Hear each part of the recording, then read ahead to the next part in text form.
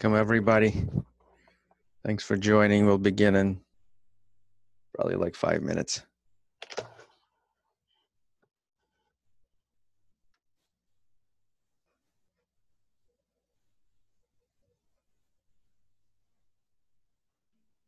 Halo. Hey, Ethan. Hey.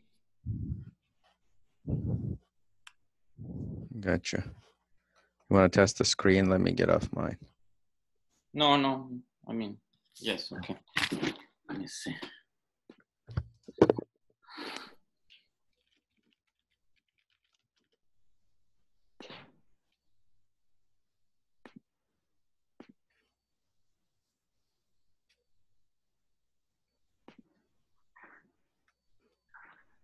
Works.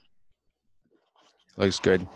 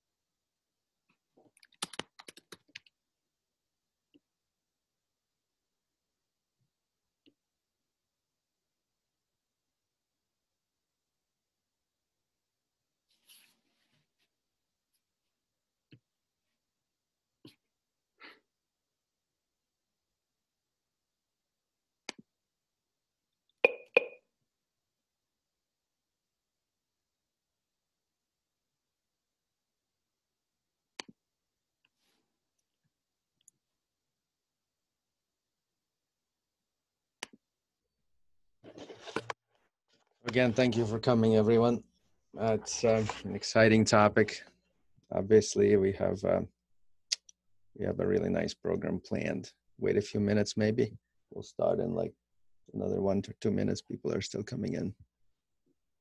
If you have any questions, you could type in this in the chat window or uh, speak up. Um, we'll have a presentation by Eitan followed by some cases.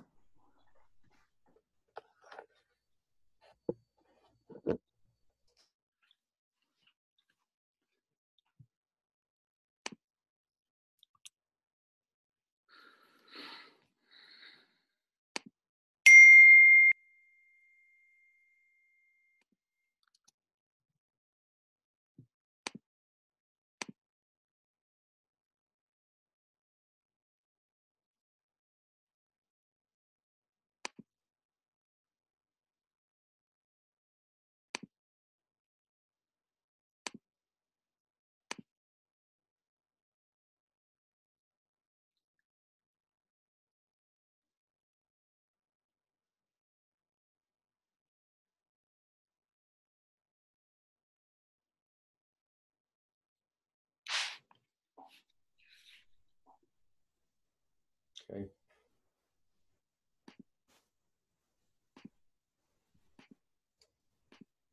All right, looks like a few more people came. Um, why don't we go ahead and start?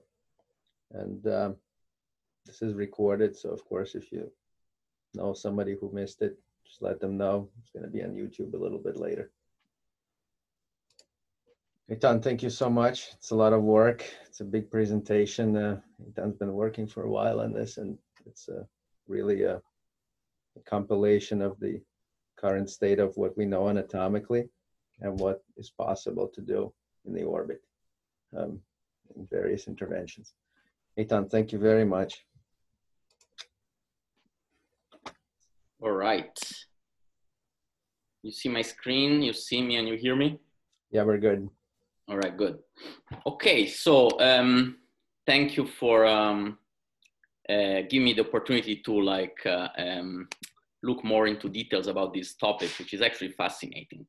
Um, so, um, little disclosure, nothing really relevant for for this uh, talk. Um, let's talk. Let's start about like recognizing the giants for this topic. Obviously, we start with Padget or uh, Dorcas Padget, like who described like the embryology of the system in a way that is still like uh, completely relevant. And then uh, uh Jacqueline Vignaud, uh, we, we usually don't uh, uh, talk about her much in neurointerventional work, but she actually contributed a lot in terms of neuro, neuroradiology general and neurovascular description in the 70s. And she actually taught both Lasjaunias and Moret. She was, she was their mentor. And she passed away, sadly, just a couple of years ago. Obviously, Pierre Lasjaunias. Um, and then Jacques Moret and, uh, and Sohan Hayreh were still alive, and uh, and they, they also contributed a lot in this. Sohan Hayreh is an ophthalmologist from India. Like if you look into this topic, you'll see, you will see like a lot of articles about the supply to the orbit are made by, uh, by him. So um, I will not start with embryology. I will start with a descriptive anatomy and then talk also about something that we don't spend a lot in radiology talking about, which is the more like this, the anatomy of the nerve, the retina, and the choroid. The reason why we don't do that is because these territories are really like so visible from the outside, to, and so it's the ophthalmologist who, who is like the one that mainly deals with them. Then I will move to the embryology and talk about the variants. So trying to understand the variants based from the embryology. And, uh, and then I will finish with a little veins. I will put some cases in between, uh, uh, cases that are relevant to describe certain topics. So starting from a brief overview, like we have the ophthalmic artery coming from the ICA, and the ophthalmic artery takes a, a turn around the nerve, it gives some, uh, some, uh, uh, some vessels to the, to the globe, which are the ciliary and the retinal artery. And then when take, taking a, a, a, turn, a turn toward, toward the medial side, we'll, go, we'll give also a lacrimal artery that goes laterally, and then the medial continuation, the continuation of the ophthalmic artery medial will give like, uh, will end at the level of the nose. Now we're gonna go much more in detail about this, uh, this anatomy. So starting from the origin of the ophthalmic artery, um, um, the, um, the, the caliber of the, of the, of the artery is, is between 0.7 and 1.4 millimeter. And this has been studied extensively with very, very good, both cad, cad, uh, uh, mainly cadaveric, uh, cadaveric studies. Um, the most common origin uh, it, there are different kind of origin, different lo possible location of origin. This is a sagittal view. You can think of it as sagittal view of the ICA. This is just the same drawing, like or, or organized in a same, similar way, but it shows like four possible origins of the ophthalmic artery from the ICA. And uh, as you see here, you recognize like this is, these are the two dural ring, the distal dural ring and the proximal dural ring. So you can see like there's an origin which is purely intradural, which is here named A. And then there's an origin which is really at the roof of the cavernous sinus, this B that starts really at, at the cavernous, at the cavernous, at the roof of the cavernous sinus. Then we have C, which is like an origin within the dural rings in a space that we should call actually intra, intradural and then we have uh, like a pure extradural origin like D. When we think about the origin of the ophthalmic artery, type B, so which is like essentially at the roof of the cavernous sinus, is the most common. More than 50% of the cases uh, have their origin there. And uh, so mentioning briefly about the dural rings, uh, the, the, the, here you have a, probably what I think is the best image to understand this, in which uh, we see the, the, the dura like here dividing into two leaflets. And uh, and uh, these leaflets cre uh, create like this sort of like a space which is an interdural space is in between the dura so it's it's actually not proper to call this subdural also because when when we think about the subdural we correlate that with pathology. This is like interdural space a space in between the dural leaflets here you see the origin of the ophthalmic artery this obviously uh, is it's uh, it's um, uh, going, so it is the left eye if we think of it in an axial view, and then uh, it goes here and then it pierces, uh, it pierces this dura and continues along with the nerve. When we try to apply this anatomy to the angiography, and that these are this is work from a, a Max that is is uh, both on on on the website but also published to try to give a, a new classification, and he did this in a, in 2012. Um, like you, you can spend a lot of time trying to understand exactly where the dural rings is, but essentially the bottom line is that uh, from an angiographic perspective, you, we cannot visualize either ring. So you can imagine more or less where are the rings. And, um, and, um, and by looking at the anteroclinoid and at the sphenoid sinus, you can imagine where are the rings, but you, you cannot see them uh, angiographically. But also on the MRI, it's, it's, it's not possible. Um, in, terms of lateral to medial, the site of origin is usually anteromedial.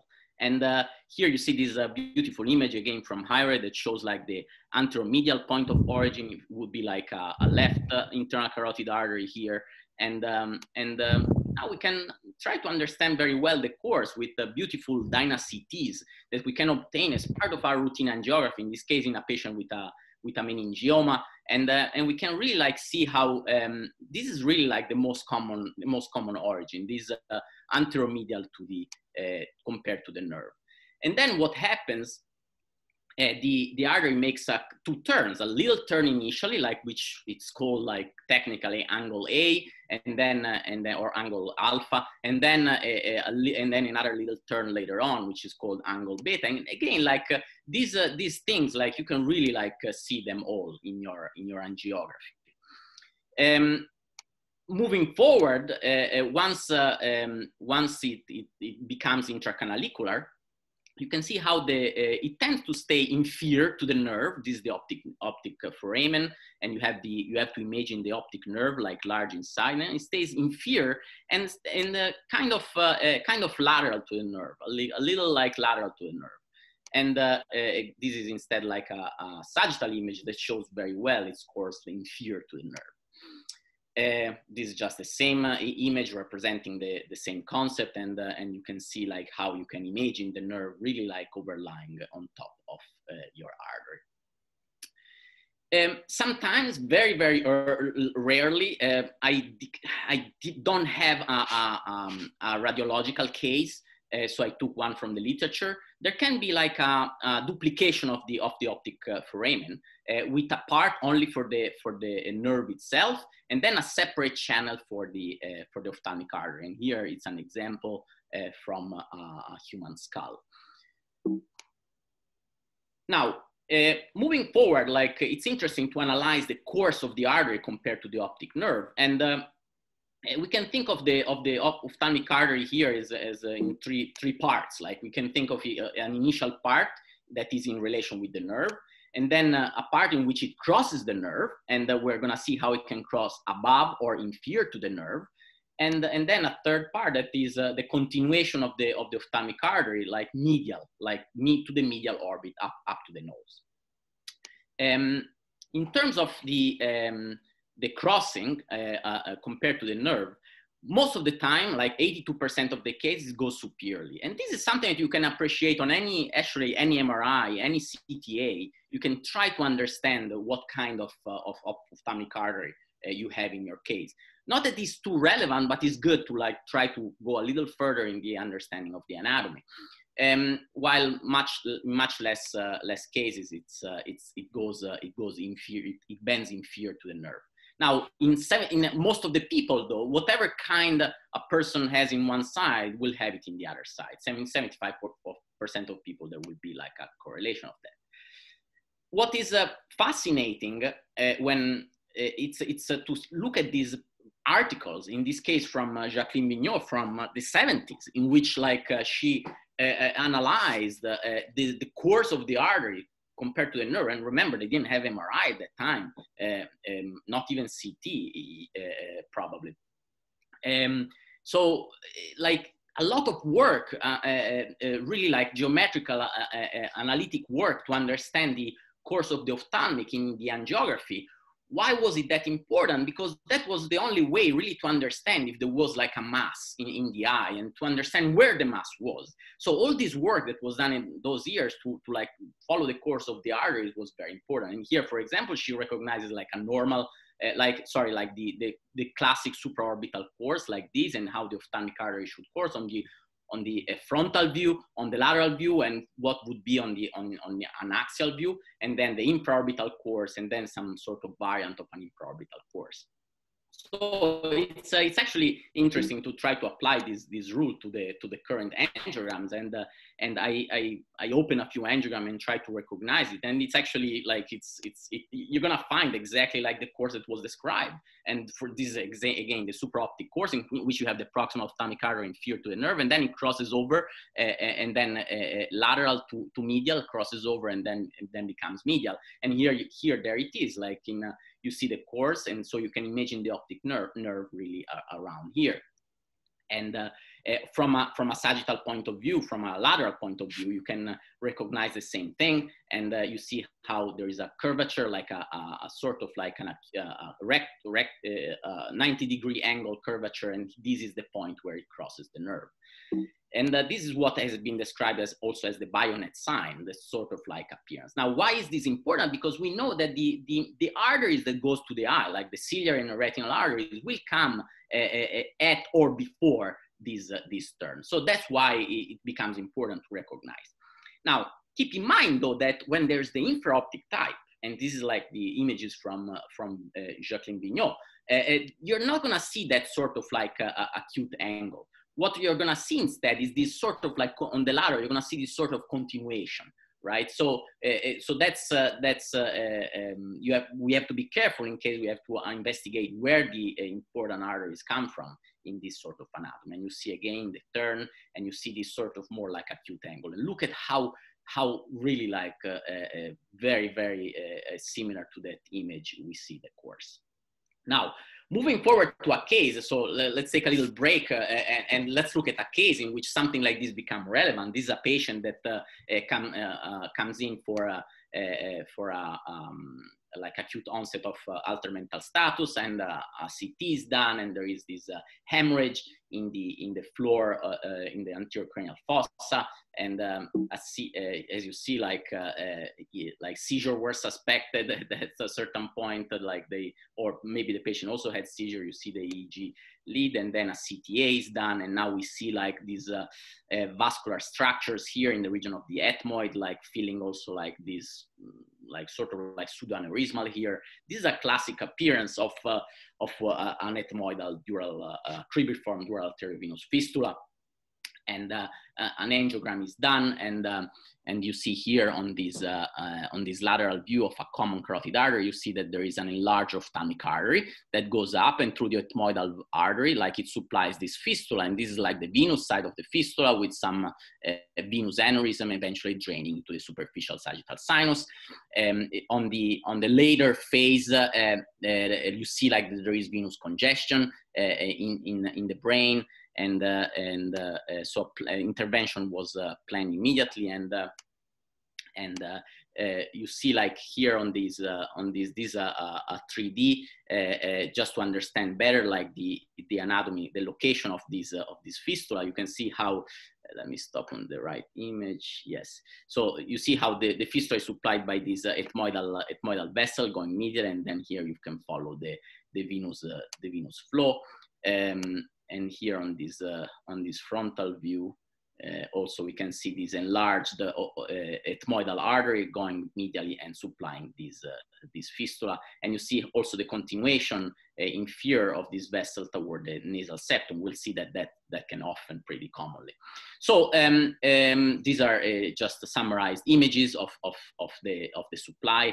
Uh, what is interesting about this dural AV fistula uh, is that usually cribriform fistula tend to have supply from both sides and from the uh, external external carotid artery branches. In this case, there was almost essentially unique supply from the, from the ophthalmic artery. And uh, uh, again, just uh, uh represent this a, a, good a good view of of the same of the same anatomy. Let me stop on some good image. Um, but essentially, like uh, this is what was uh, particularly different than most of the cribriform fistula that we encountered before, is that there was supply only from the ophthalmic artery. And again, like here is the other side, as you see, no supply from the other side, or minimal, if any, like and from the external carotid artery, just maybe a little blush, but nothing, nothing too relevant. So uh, how to treat this fistula, it becomes uh, uh, two options. Surgery, surgery is certainly al always an option, or uh, catheterized through the ophthalmic artery. And here is where it, it, becomes important to understand and recognize where the uh, arteries to the, to the globe come from. And again, they will come uh, somewhere around like this third.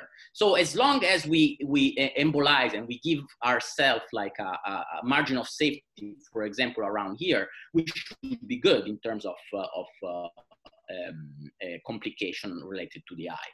And uh, this is the um, this is the um, the technical part of it. Uh, Max did the case. I assisted him, and you see like he used a magic um, a magic uh, uh, catheter uh, with uh, just the, the, the, wire giving some support, but not really like trying to advance the wire in order, again, like to be safer in terms of like uh, uh, the ophthalmic artery, especially proximal. And you see like that how the catheter went very, very smoothly and it got to a wedge position and there was really no inflow from any other vessels. That's why the decision at that point was made to use NBCA rather than Onyx because um, because it would we felt like NBCA would have like uh, go through the venous side without much reflux.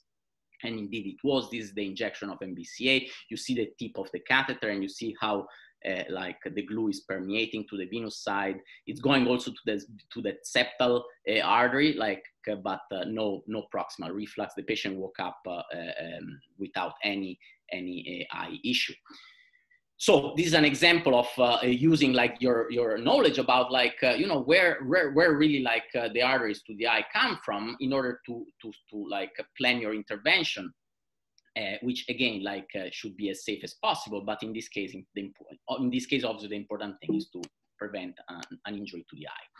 Now um, um, there was a, there has been a, uh, moving back to the anatomy uh, of the of the of these vessels in terms of in relation to the to the to the optic nerve. There has been a lot of work from Hayreh about like recognizing where the different arteries come from in when we have the different sort of like variants. So these are the supraorbital course, the infraorbital course, and uh, it's been like really phenomenal work uh, uh, and uh, and even like the interesting thing is that was without angiography. Now with angiography, you can see also these things. So we may probably, we're in a setting where we can advance that, that work probably. What he noted, and what, that's what like we always say about everything, is that the variation is so marked that it is wrong to look for the so-called normal pattern. That's essentially what we always talk about, about any sort of vasculature in the brain. Uh, uh, like, you know, there, there, there's we talk about spectrums all the time, right? There's there's no normal like it's it's a spectrum, and so what uh, what he noticed, for example, is that the origin of the the, the origin of the central uh, uh, retinal artery, where it come from compared to the nerve and so forth. Very interesting to read, but um, I'll, I'll, I'll, move forward here. This is an example that he, he showed uh, in which like there was like a preserval of the ring, like around the optic nerve. So you see like there were preserval of both, both supra and infraorbital branches. So sometimes you can have this sort of like uh, a loop around around the nerve and show as showed well in this uh, stereo uh, stereo pair. Um, uh, then we have the last segment of the ophthalmic artery, which is uh, uh, runs um, in between the, medial rectus and the superior oblique. And here you see, can see well on this on this DynaCT image, and here in between this the medial the medial rectus and the superior oblique, you see the course of the ophthalmic artery. Something that I like to mention, especially because we have trainees online, is is like differentiating the ophthalmic artery from the orbital frontal branch sometimes may not be as obvious as it, as it, uh, as it should. And for example, when you look at this, uh, this uh, view, like you see two vessels here, you see one vessel and two vessels. Here, it's obvious to see that one originates from here. So it becomes obvious to say that this is the ophthalmic artery, but sometimes it's not that obvious. So we have to keep in mind that uh, that uh, uh, there is another branch comes from the ACA that runs along the roof of the, uh, uh, the, the, roof of the lamina cribrosa at the planum sphenoidale, essentially. And this course is essentially on the lateral view, it courses almost parallel to the ophthalmic artery. Uh, how is that? How is that possible? The reason is that we have to think of like 3D, and we know that in a sagittal view, this is going to be the, the, the floor of the orbital of the anterior cranial fossa. While more on a parasagittal region, this is the same the same view. It was not moved so like uh, it's a it's a um, these are sequential images. And you see how the orbital roof is actually much higher than than uh, than the uh, than the level of the ethmoid. And here you can if doing a MIP you can put two, two, together the lines. And you see how the orbit is much much higher. And so when we look at an angiogram we have to think it this way. So so uh, uh, uh, something that you understand even more if you under, if you look at the you, at your coronal view right? So you have the roof of the orbit here and the roof and the ethmoidal uh, planum sphenoidal around here. So when we put together like uh, our two vessels, the ophthalmic artery and the, and the uh, orbitofrontal branch of the ACA, you see that they project essentially in the same line on a lateral view. So this is an important topic. Is, is an important point is it becomes like um, important for fellows to not be embarrassed when asked about the ophthalmic artery and pointing to the wrong vessel. So moving forward about uh, uh, in terms of like uh, branches to the eye and um, talking more about the branches to the globe itself. Things that we don't pay too much attention as more interventionists, we just say okay that's a safety zone and that's it.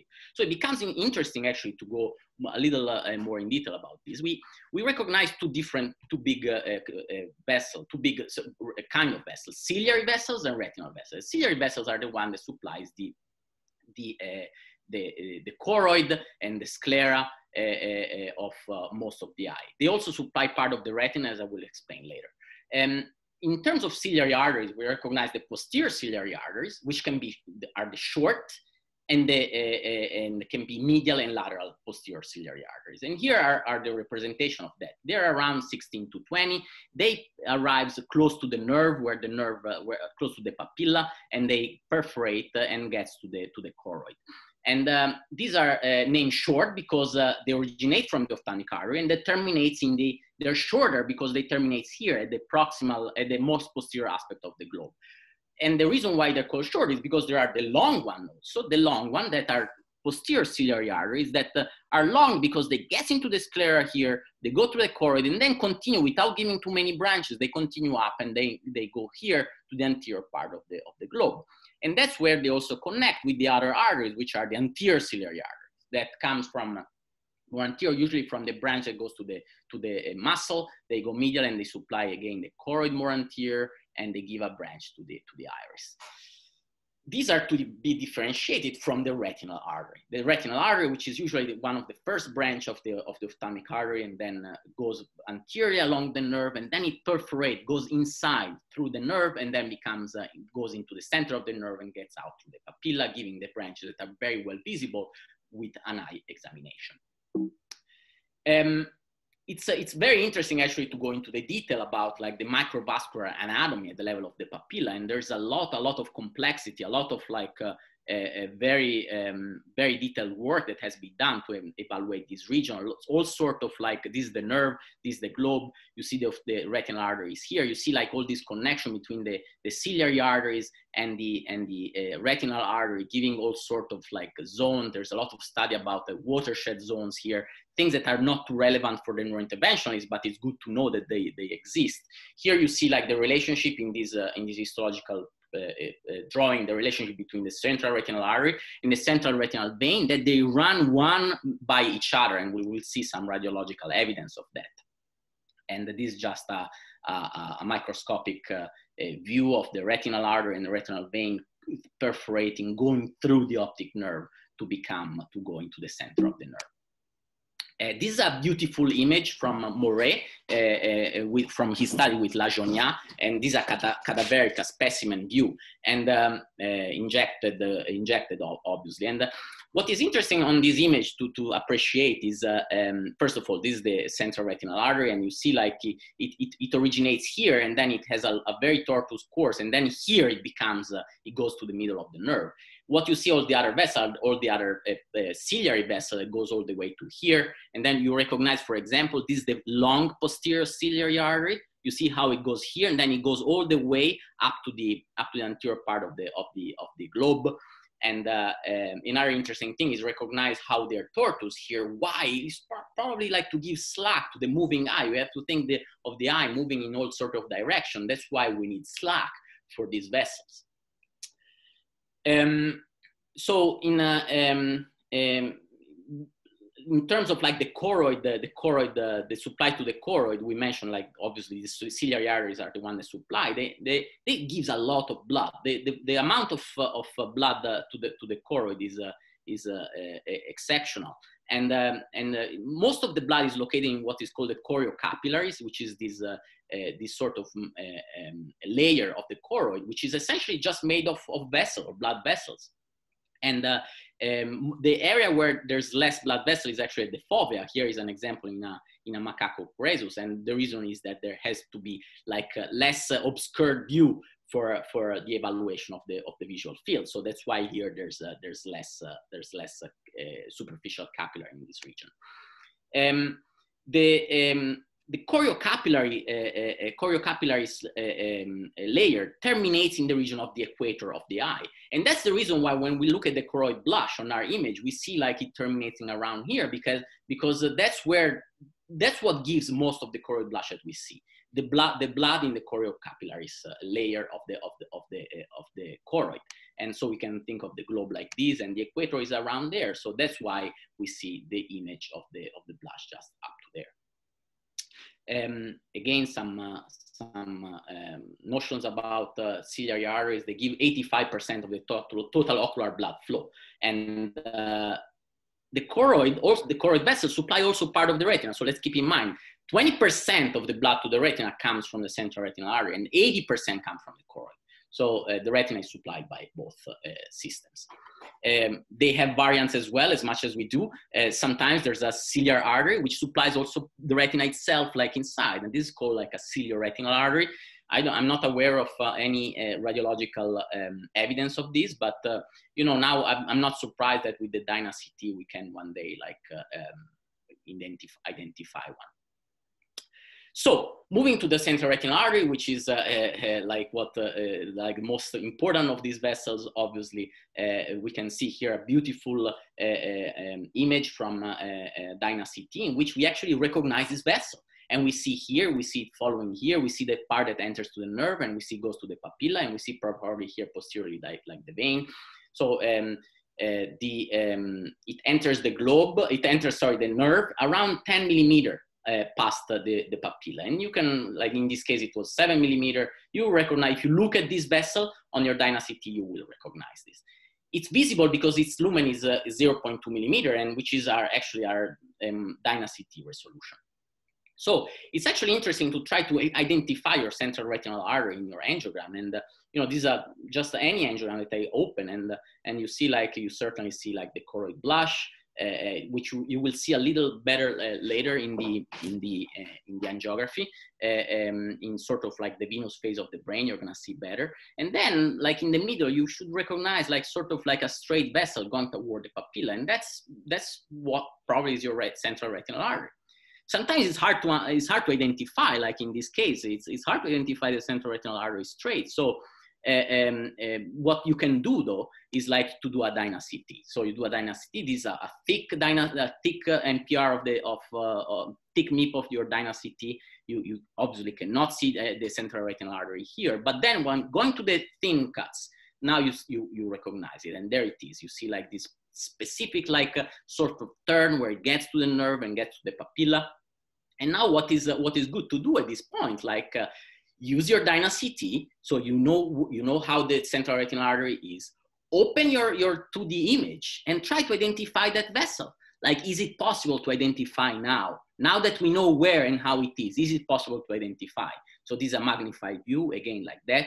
And this is a magnified view of, of the angiogram. And now you see like how this vessel, indeed, we recognize it. It's not that, uh, that obvious, but now we recognize it's here. It's this one here.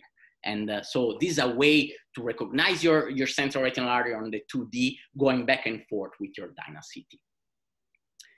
Uh, this is just another example. Uh, again, like very hard to recognize it here, but uh, you do the DynaCT and you now you recognize, you understand why it's hard to see because the nerve here, it takes a turn. So the nerve takes a turn. So it's almost like in a position that we don't expect the central retinal artery is because it uh, becomes oblique. And we know the nerve can be tortuous. So just be, be ready to identify this sort of like more oblique way to, for the, to find the uh, retinal artery. Um, and um, this is, uh, um, this is just the, uh, the same, uh, um, the same patient in which, uh, in which we can see like here on this uh, coronal view, we see like the, the artery going into the middle of the nerve and then, uh, and then giving, uh, continuing uh, straight uh, along the nerve.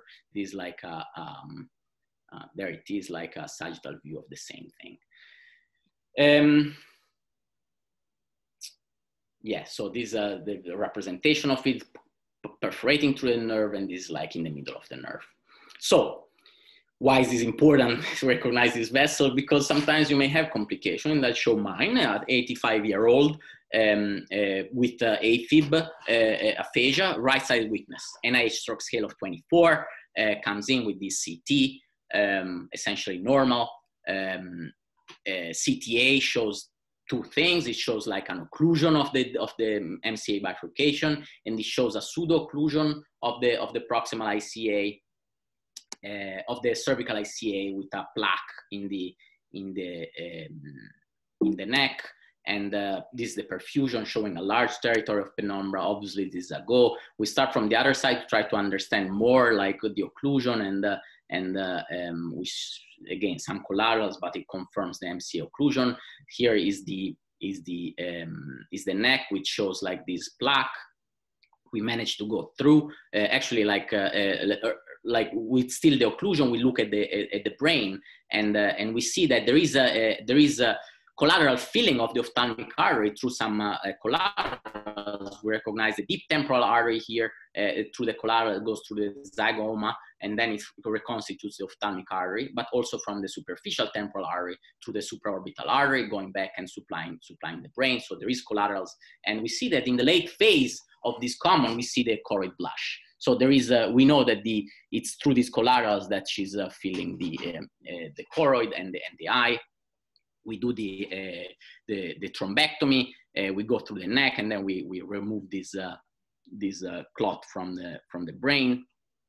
And then we have to pay attention to our our plaque, very severe. So with a filter in place, we um, we actually put a stent and you see there is a filter and you recognize that there is a little thing in, in the filter which is uh, which is a clot, which we actually found when we removed the filter. This is the final, which is beautiful, like a very good looking uh, and, um, and, uh, and delayed scan. It's still open.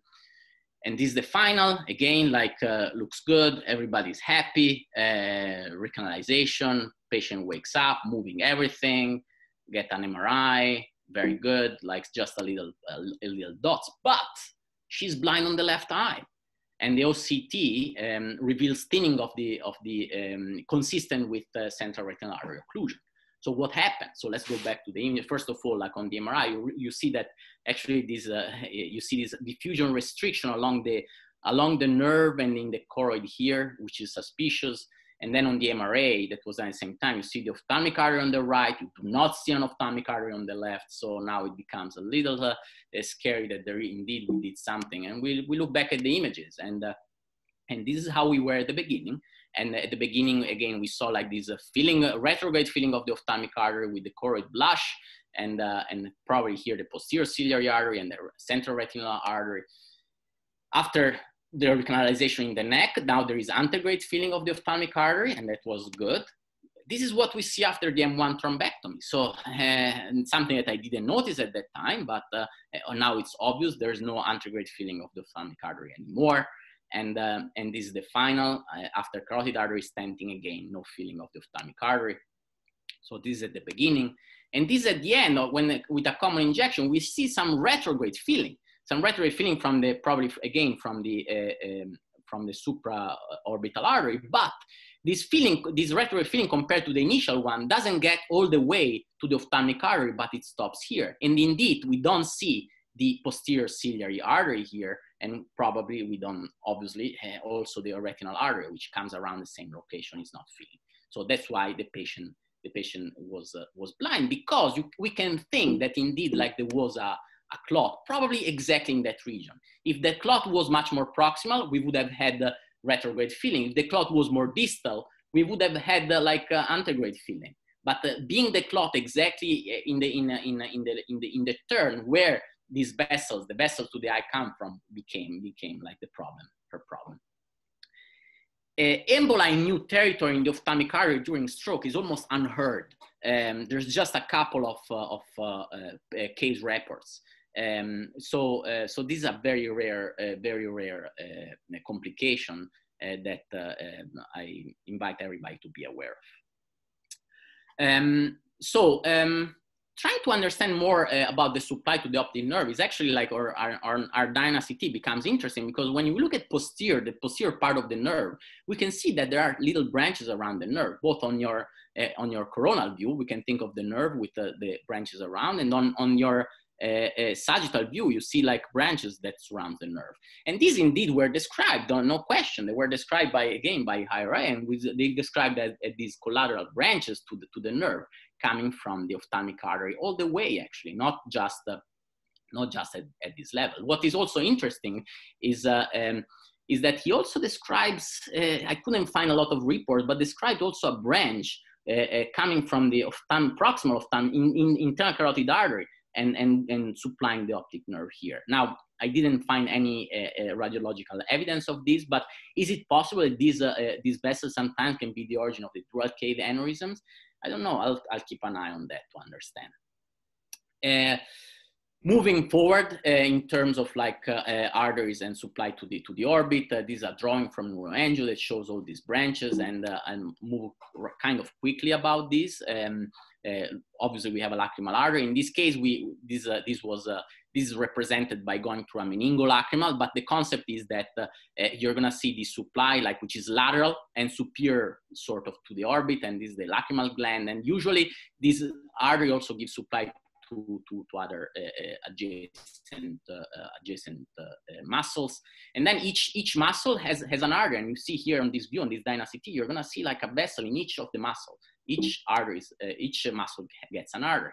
Ethmoidal vessels, we have see here a good, a nice drawing from an Italian group, and uh, and we see on this, uh, this is a pathological example in a patient with moya moya, and you see here both well, very well represented ethmoidal artery. In this case, it was even sort of like a flow-related aneurysm because this anterior ethmoidal artery was supplying a lot to the, to the, uh, to the brain. So uh, all vessels you can identify. Sometimes the ethmoidal artery then gives up the arteries to the septum. In this case, it's a very good representation of that ophthalmic artery, giving the ethmoidal artery, then in turn gives the supply to the uh, nasal septum. Other, you can go like, uh, you can, we can spend days here looking at all the branches, but the, the thing is that on the DynaCT, you recognize everything. Here are the palpebral arteries, like a very, very good representation of that with the arcade along the superior palpebra. Given that how complex is this topic, I couldn't spend a lot of time on the concept of uh, dangerous anastomosis because the, the, the, understanding of the dangerous anastomosis becomes almost obvious once you understand the anatomy. And if you understand all the possible connection with the, be, between all the arteries, it's obvious what the, then what is dangerous and what is not. What I'm showing you here, these are stereoscopic images of, uh, of a patient with uh, um, um, a proximal uh, carotid occlusion due to a dissection. And this is just a beautiful stereoscopic view, which shows some of this connection. You see a very good retrograde filling of the of the uh, uh, of the ophthalmic artery that fills uh, that retrogradely fills the internal carotid artery. How is it filled? Through essentially a lot of these possible branches that we mentioned. Like for example, here we have the supraorbital artery from the from the STA. We have the, the deep temporal artery here supplying through the zygomatic branch, and we have uh, uh, sort of like some uh, nasal septal branches helping here as well. Now, the concept is that you know, you know where, you know the connection, you know what is dangerous.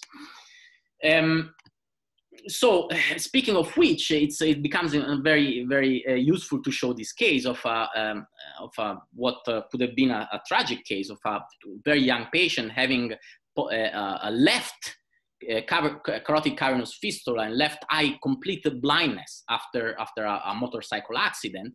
And we treated the left side uh, uh, for a carotid cavernous fistula, the left side was, was cured, uh, even though, again, he left vision on the left eye. But during the angiogram, we also identified this finding here on the right side. And, uh, and you see here how is this, this is a pseudoaneurysm uh, coming from the ophthalmic artery. And we see here a better view of it. It's from the ophthalmic artery itself. It's not from the, from the internal carotid artery. You see the ophthalmic artery coming here with this pseudoaneurysm and continuing here. And uh, um, so this becomes very critical because the patient is already blind on the left side, and now we have to deal with this right-sided uh, pseudoaneurysm. So what to do? Um, you know, there's uh, um, different uh, different strategies, uh, um, and but what become here really relevant is like the understanding of the anatomy. So we went to the external carotid artery, doing a very good injection of the external carotid artery. And now what you see here is a retrograde filling of the uh, ophthalmic artery from the external carotid artery injection. Uh, how through mostly like through uh, this uh, um, uh, through a, a, branch from the infraorbital artery. Uh, we didn't have a DynaCT here, uh, but essentially what you see is reconstitution of the ophthalmic artery all the way to the internal carotid artery. And you see here the same shape of the vessel from the internal and external injection. So here it becomes, with this understanding, become obvious that, you know, we can sacrifice this vessel. And we went inside, we, we coil it off, and when we finish the, the work also with a pipeline just to to make sure that we were uh, uh, that, that, this last coil would not have uh, migrated into the vessel woke up with intact vision. And uh, and uh, uh, there was um, I didn't show the final here I, I, missed this but essentially the final external showed very good retrograde filling of the ophthalmic artery as, as you would expect from from this view. So really like the understanding of the anatomy here becomes, uh, becomes important to also strategize your intervention. Uh, Max, any, uh, can you ask if there's any question because I, before I move forward to the embryology part? Yeah, let's take a little, maybe like a minute or two break. Is there any questions? Um, I show I show some cases. I'm sure somebody can have some comments or or uh, or uh, um, uh, question about the cases that I showed. Yeah. All right. Just unmute yourself, speak up if there's any questions. Obviously, there's like a ton of information there. It's an amazing topic and tons like so so comprehensive. But um, if you do have questions, um, let us know. Okay. Um, all right. So moving forward, I hope uh, everybody's following me here. Um, moving forward to like a topic that I really care a lot, which is the embryology. And uh, you know, for the embryology of the ophthalmic arteries, that has, there is a lot of literature, like almost too much actually. Um, um, so it's good for, for especially for trainees. It's, it's it's good to have like sort of like something, some common uh, things to remember. Um, so in the literature, there's this talk about the Padget theory versus the Lasjaunias theory. It seems like the theory where are in contrast, while instead they're not, in my opinion. What is important to think of is like uh, we have two two main vessels supplying to the orbit, which is, we call it one ventral ophthalmic artery that comes from the anterior cerebral artery, and then a dorsal ophthalmic artery comes from the ICA more proximally. Now, this vessel, moving on, they create some sort of connection one with each other with, uh, with this turn, and then one, uh, and this is an example in vivo of the, of the uh, presence of both vessels, and then one takes, uh, uh, uh, takes becomes more dominant than the other, and then the other regresses. And this is more or less like what happens. In the equation, we have to add also like a supply from, we can think of this as the stapedial artery, the supply, like essentially the uh, precursor of the middle meningeal artery, and the supply with the supraorbital branch. So we have to add that into the equation as, as well. So instead of thinking uh, um, uh, Padget versus Lasjaunias, essentially Lasjaunias theory were, were made like based on, on the angiographic per, uh, view. So indeed, when you we look at the angiography and the, and the variance from the angiographic perspective, the Lasjaunias theory makes more sense, but uh, it's not that uh, it's because it's true or not, it's, uh, it's, but it's good to remember it because it makes sense. The main difference are really like the name the arteries goes through the optic foramen. Like if you look at the all these literature, they discuss how it was the persistent dorsal for Padget, persistent ventral for Lasjaunias, but they talk about the same vessels. So essentially, this is just semantics, so not too important. Um, then uh, another difference is the formation of the proximal ophthalmic artery. So if we think of the proximal ophthalmic artery coming from here, and we all agree about that, how, um, how that, that now becomes and, and goes inferior and comes from here, for Padget, it was sort of like an anastomotic progression is called, meaning there is different differential growth of different things. So, um, uh, uh, so the vessel becomes uh, goes and, and, changes changes uh, uh, position because of that. For Lasjaunias, it was an intradural anastomosis. So the vessel comes here, and then it, it uh, and then it forms a new anastomosis within internal carotid artery here. I, I have to say, uh, I, I kind of favor the anastomotic progression. It kind of makes more sense. But, you know, again, like this is, is just a subtlety in the difference. And then another difference is, the, is how to put together the ILT, the infralateral transformation. And uh, again, this goes into extreme level of complexity to understand. Some people talk about the persistent maxillary artery versus persistent dorsal ophthalmic artery beyond our scope here what is our scope instead is uh, to understand the convergence between the theories and understand uh, the, our variance because of this embryology. So something that we all agree on, there's two arteries, one ocular artery that goes through the optic foramen and gives the, gives the central retinal artery and the choroidal arteries, okay, that gives to the globe. So one ocular artery, and then we have one orbital artery that goes through the superior orbital fissure, and then it supplies all the rest of the orbit. So the muscles, the glands, etc. Okay. So these arteries, though, have potential connection. And the potential connection between these arteries will result in, in all the many variants that we are uh, we're going to show. This is an example in vivo uh, in, in a radiological specimen of like uh, uh these two, uh, the persistence of ocular artery coming from here, small, it's small because supplies only the globe, versus the orbital artery coming here from the middle meningeal and supplying all the rest of the orbit. So the ocular artery and the orbital artery is something that it seems we all agree upon.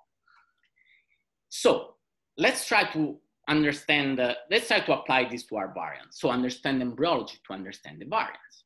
First, like uh, how, how this uh, concept of like the progressive uh, descending uh, of, the, of the anterior, uh, sorry, the, the persistent ophthalmic artery applies in variants and we see how it applies because this, uh, depending on where this stops, we can have an origin more proximal or more distal. For example, in this case, you see that the origin is a little more, more distal than what we're, we're used to. Why? Because if we think it this way, essentially like this descending was not completed all the way. So that's why we see such a variant.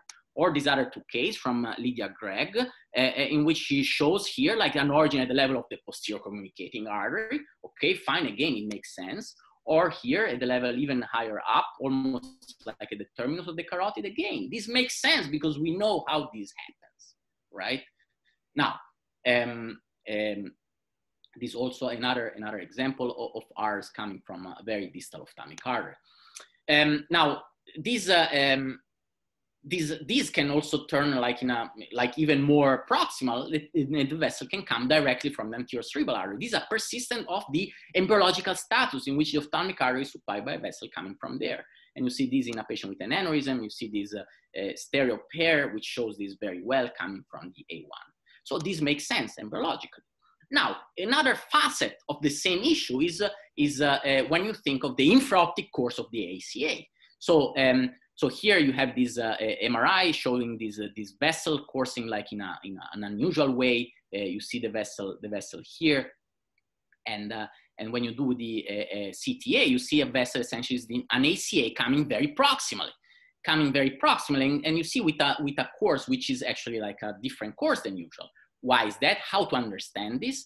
Again, we understand it from the same way. So if we think of the of the uh, ventral dorsal artery coming down, okay, uh, uh, we, we can think of a certain point where we have this appearance. And uh, this is following actually Lasjaunias sort of like a theory. We have this appearance of the ventral dorsal, uh, dorsal uh, uh, ventral ophthalmic artery coming down and then supplying the eye. Okay, so there is this anastomosis at this level between these, the ventral ophthalmic artery and the ICA. So what happens if for some reason this segment of the ACA regresses and doesn't develop well?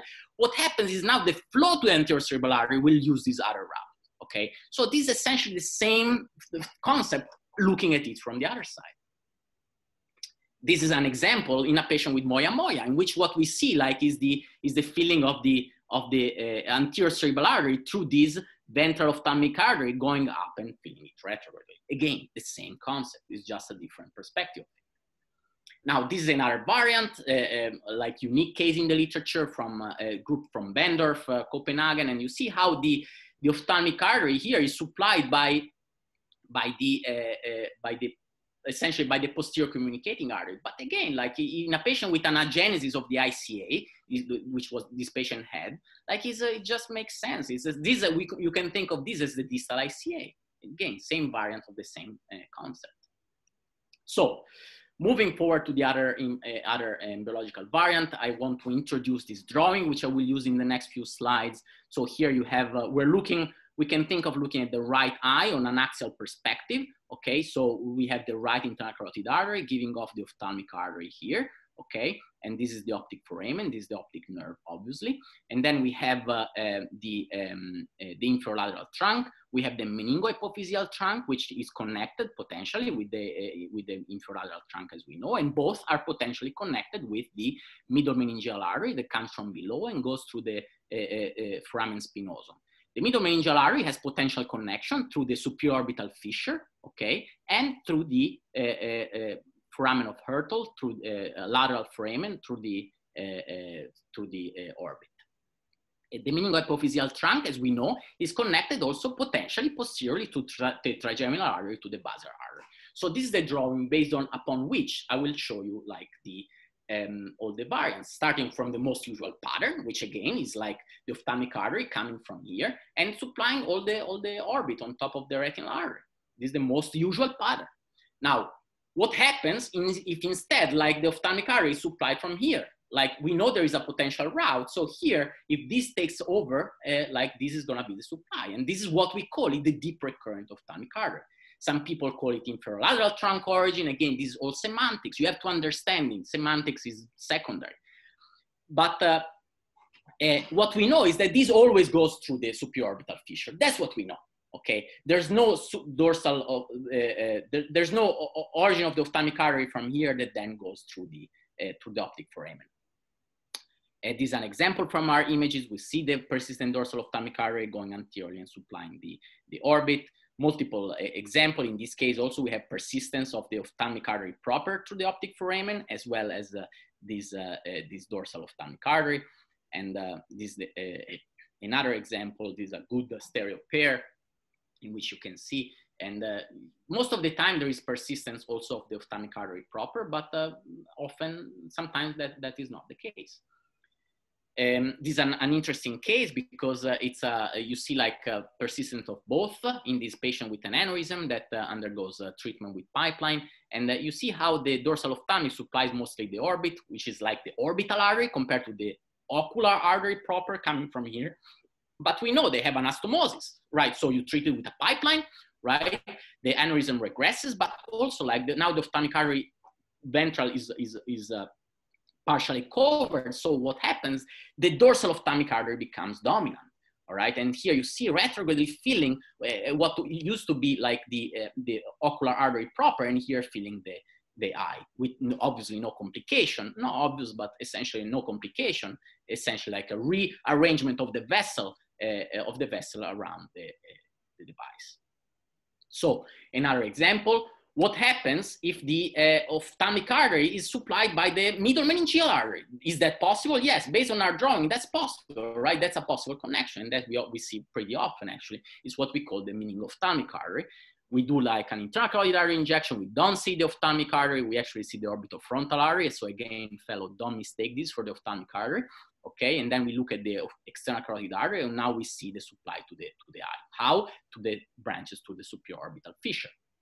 And here you see it also on an MRA. You see a normal one on the left side, and now on the right side, you see this branch coming from the middle meningeal going back and supplying the eye. Um, so this connection becomes uh, uh, very important for, uh, for understanding of, uh, of uh, vasculature uh, for, for in, in, certain diseases. And and here you recognize that there is a, this patient has like a abnormal abnormal vasculature here in the roof of the orbit, and uh, you see like an, an, enlarged Rosenthal vein with a sort of like a pseudoaneurysm there as well, a venous aneurysm, and this is a dural arteriovenous fistula, and uh, um, and here you see like uh, on T2 you see like these uh, engorged veins, and uh, and on T1 post contrast you can see how uh, again, like uh, uh, we think we can think of this as, a, as an orbit roof dural arteriovenous fistula. these are the angiographic images from that, and and you can see how um, indeed uh, um, there is supply from both the internal carotid artery and the external carotid artery. Why? Because we know this connection between the meningeal arteries, uh, middle meningeal artery, and the and the meningeal artery and, and the and the uh, ophthalmic artery itself. So uh, this is a, a, selective view of the internal carotid artery showing the supply to this uh, fistula here, also probably from this uh, uh, um, inferolateral trunk. And then here you see the supply from the external carotid artery to the fistula. So uh, in, in this case, we actually prefer to go again from the, from the orbit, from the ophthalmic artery itself oh, these are a DynaCT showing better like the point of the fistula, which is actually not ethmoidal, it's, it's much more posterior than that and uh, and here is the fistula uh, beautiful images. And uh, we went with a Scepter C through the to the orbit and uh, and we inflated and here is the injection through it. And then we decided to treat this with actually with onyx. Again being very careful not to have reflux up to up to such a region here and this is the final showing a complete cure. So this is a location in which we have exactly like that sort of connection between the meningeal, uh, uh, between the middle meningeal artery and the ophthalmic artery. And this is the final showing the, uh, the location of the, of the onyx. I move forward to this case. We can maybe show it back uh, later. Um, and uh, uh, so uh, moving forward to the with an logical variant, now we understand how if, if, if, if, the, if the supply goes, uh, instead of going through here, it goes through here, it's the same concept. You know, it's still meningeal artery supplying it, what we call it meningolacrimal. Meningolacrimal, which is very vis well visible on your frontal view, you're gonna see this sort of vessel going up like this, and you're gonna recognize your foramen of Hyrtl much better in this other case. With the DynaCT, you see the vessel going here, and then it can supply only the lacrimal area, or sometimes it can take, can take, can take over the whole orbit.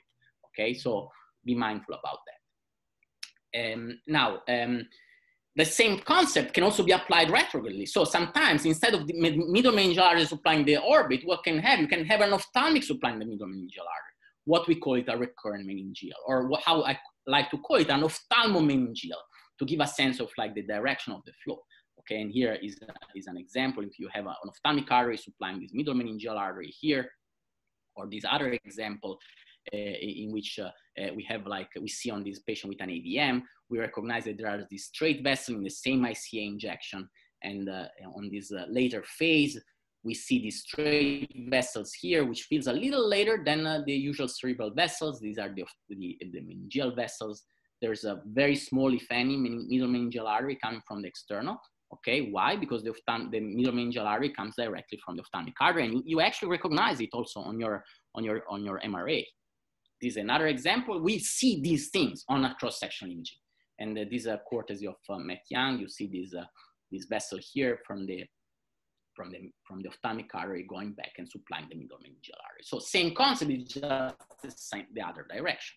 Okay, now moving a step forward, cases which are very, very rare in the literature is that if we think of this network, like there is a potential for the vessel to come directly from the basilar, right? There is a basilar, there's a trigeminal artery, and uh, through the MHT, and then filling this, uh, this trunk all the way to the orbit. Yes, there is a potential. From if we understand the embryology, there is a potential, and this is an example from the literature in which the ophthalmic artery comes directly from the basilar artery, and this is a more beautiful uh, uh, uh picture from uh, Paul Bogal, in which he showed the same thing, which much better uh, represented with the Dyna CT, but the same concept. You see like there is an ophthalmic artery coming directly from the basilar artery. It's something that if we understand the anatomy and embryology, we understand how this can happen. Middle meningeal artery coming from the basilar, not really like an ophthalmic thing, but if we understand that, like again, like it's, it's just makes sense. It's just like another member of the same family, I call it, right? Middle meningeal artery coming from the coming from the basilar artery. If we understand this connection, we understand these variants.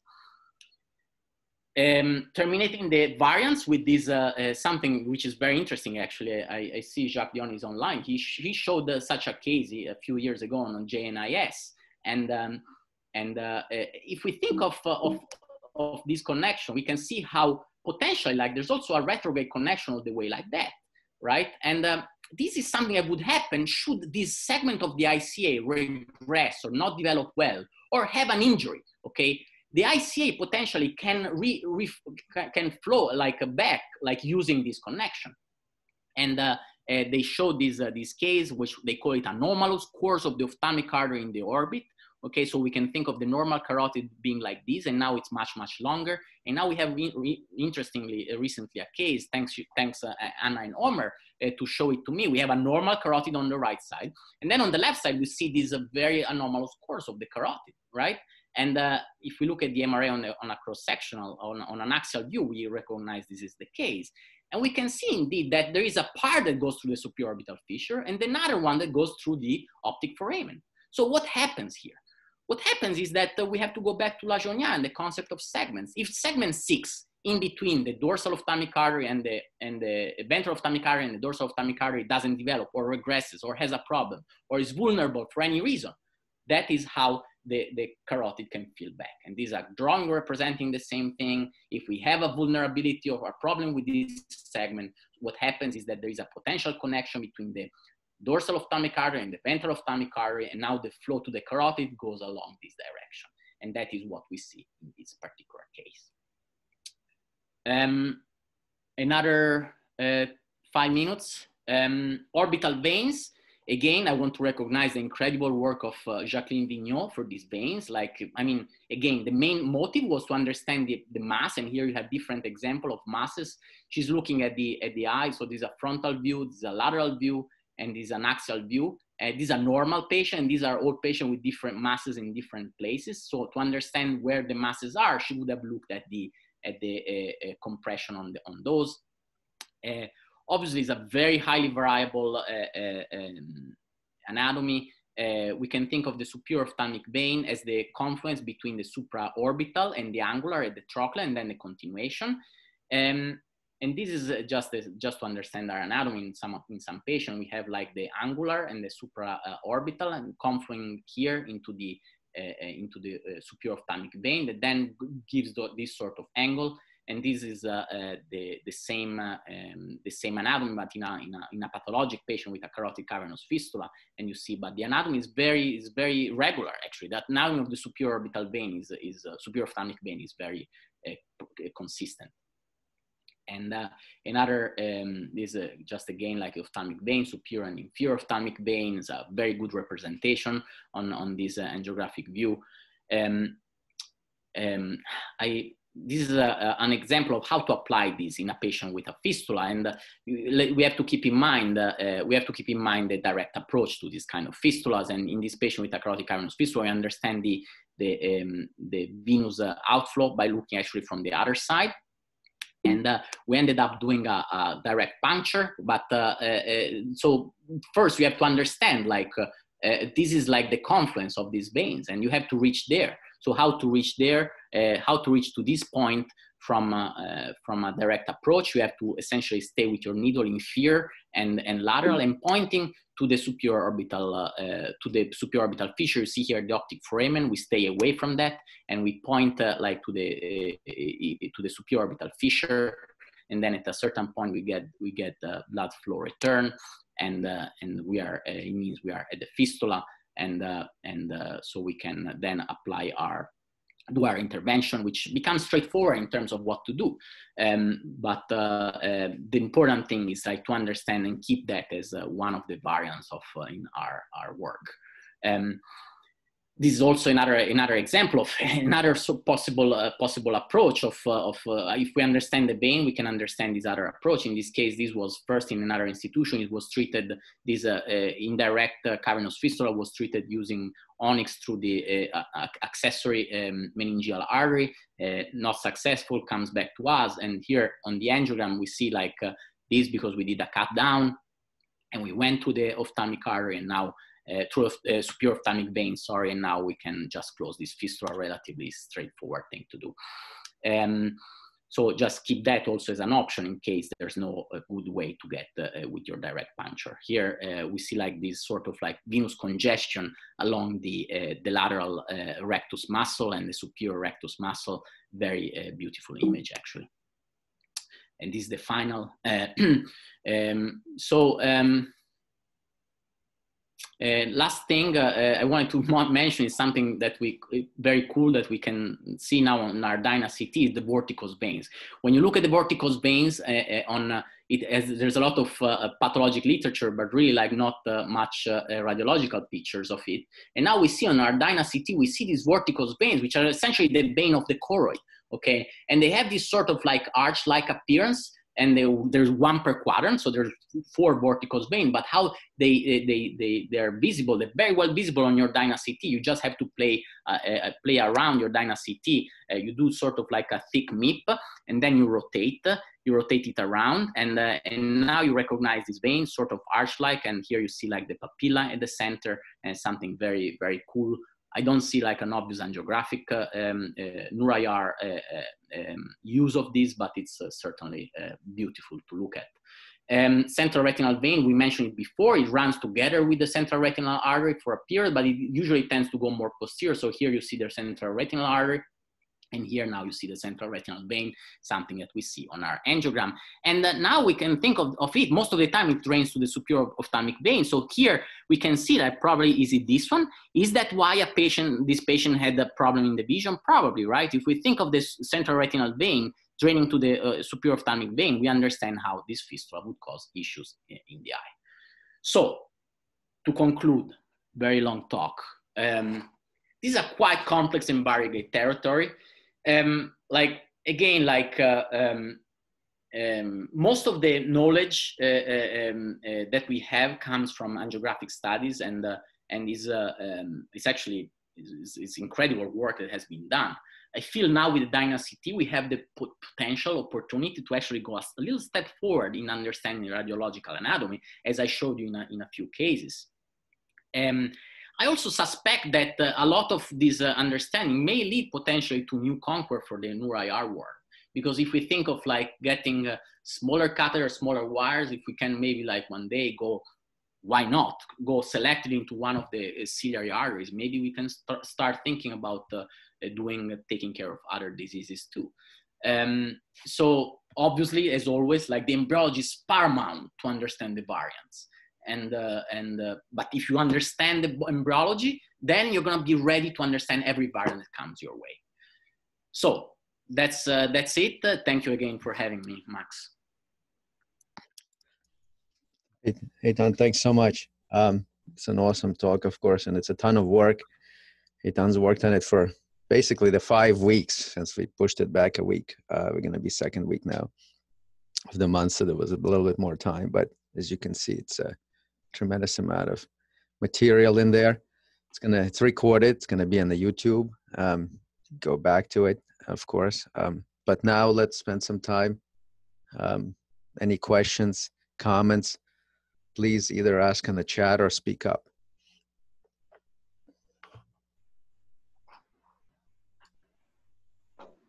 if I may say something. Of course. This is, this is Dodi. of course, I have to say something because uh, maybe I should. Um, because uh, when I hear and listen about embryology, uh, I always have some unhappy feelings, and uh, and I have to to say something. Uh, so I, with absolute great respect for uh, everybody, Lasjaunias and, uh, and all the others who have talked uh, in, in, the literature and, and, uh, and, lessons and lectured us about it. I think um, it, it, just explains that anything is possible. We have all kinds of, of, of possibilities and, and, and we say, okay, anything is possible. But so for me, it's easier to explain it in a different way, starting from two, two concepts. The first, vessels are everywhere, arteries are everywhere.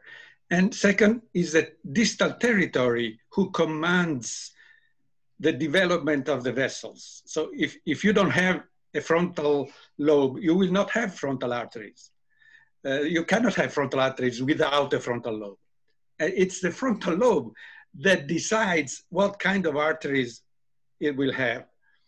So it's, it's uh, if you start thinking that way, which is centripetally, somebody said that just now, and you come from the distal part to uh, the, the, proximal part, and you don't say the, art, the ophthalmic artery exits the carotid artery and enters the eye, but you should say the ophthalmic artery exits the eye and goes towards the, the internal carotid artery because that's the way it happens.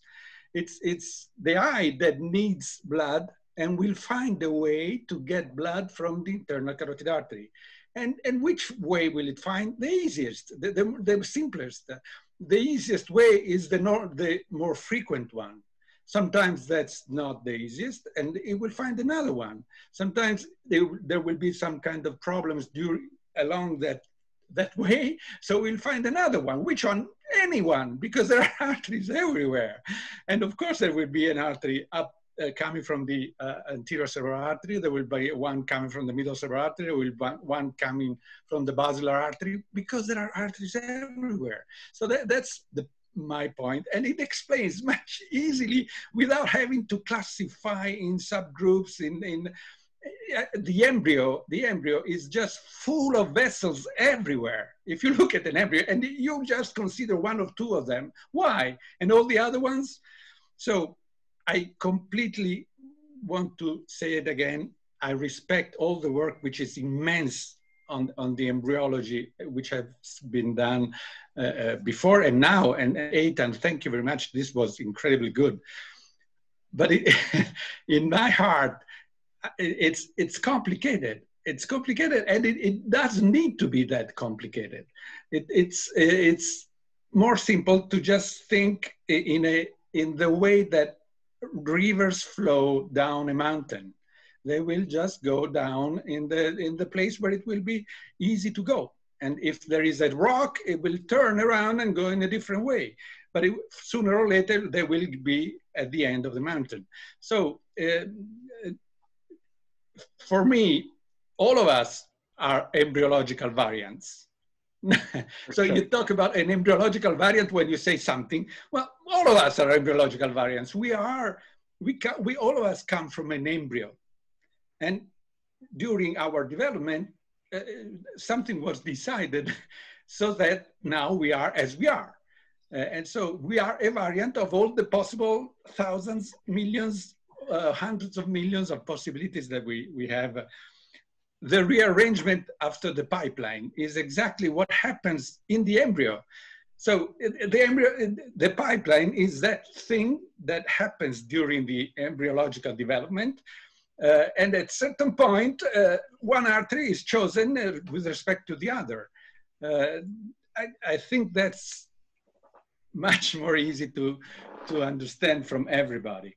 Uh, I'm sorry, I'm sorry. I, I, I, know I shouldn't have talked, but I, I really think uh, this explains in an easier way. So whenever you see an artery, look at where it comes from rather than, uh, I mean, where it goes to rather than when it comes from. Because where it goes to is the object that decided how that artery would look like. It's not that it, it, it, it, it uh, um, it originates from the internal carotid artery and the internal carotid artery is deciding where that artery is going to be. Is it dorsal or ventral?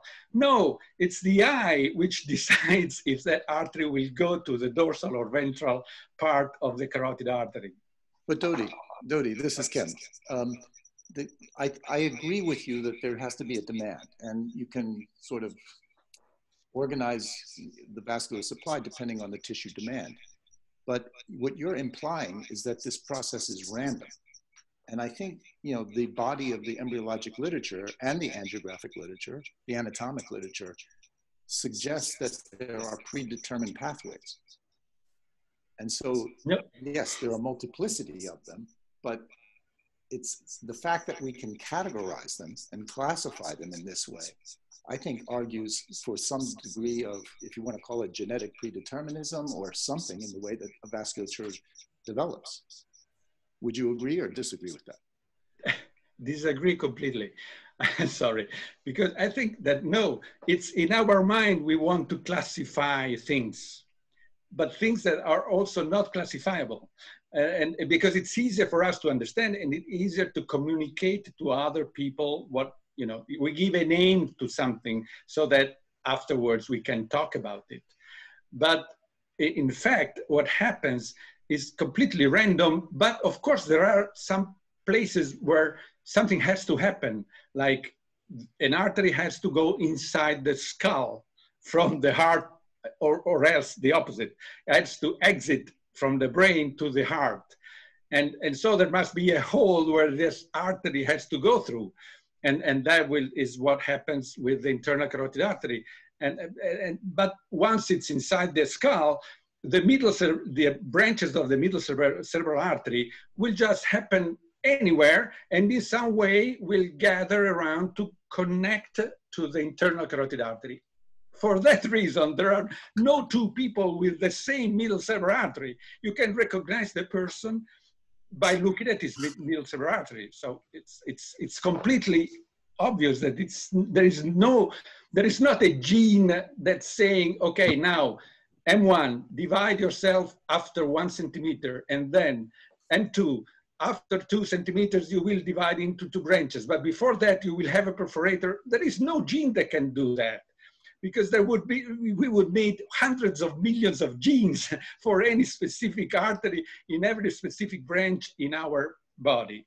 So it, it's just random. It will happen in the way which is most easy and, and, and uh, mm, uh, fruitful for, for, for the brain. The brain decides, okay, I want blood, I will look for it and I will go in that direction because there, there is a big vessel. What is this big vessel? M1. Perfect. I, I will go there and, and I will take blood from M1. And, and how? Well, it doesn't matter. I will go a little bit upwards and then downwards. Of course, I will follow the, the, the, the surface of the brain because, of course, because it's easier rather than than doing loops and then going around. It's it just go straight, like like a river would go down a mountain. It, that I will go straight until it's possible. It's not. possible. I, I, no, that, that's uh, you know you know we we we look at the we look at things in a similar way, and I have to say like I I don't disagree. Like uh, it's it's uh, it's it's just a different. Uh, it, it, it's not uh, the, the things they, they don't go one against each other. I mean, uh, the, the thing is that uh, you know we as you mentioned like we we we need to talk to each other. We need to make sure that our trainees understand things. We need to write things down. So you know that's where like you know the uh, sort of like it's not really a classification. You know you can give whatever name you want. And i gave you an example where like exactly because of that I like to call it an ophthalmomeningeal artery, right? It comes from the meningeal artery and goes to, and goes to like it's just like sometimes we use uh, we, we, we, we like we need to use names that we all agree we all agree upon in order to communicate you know and also to understand because what you say absolutely makes sense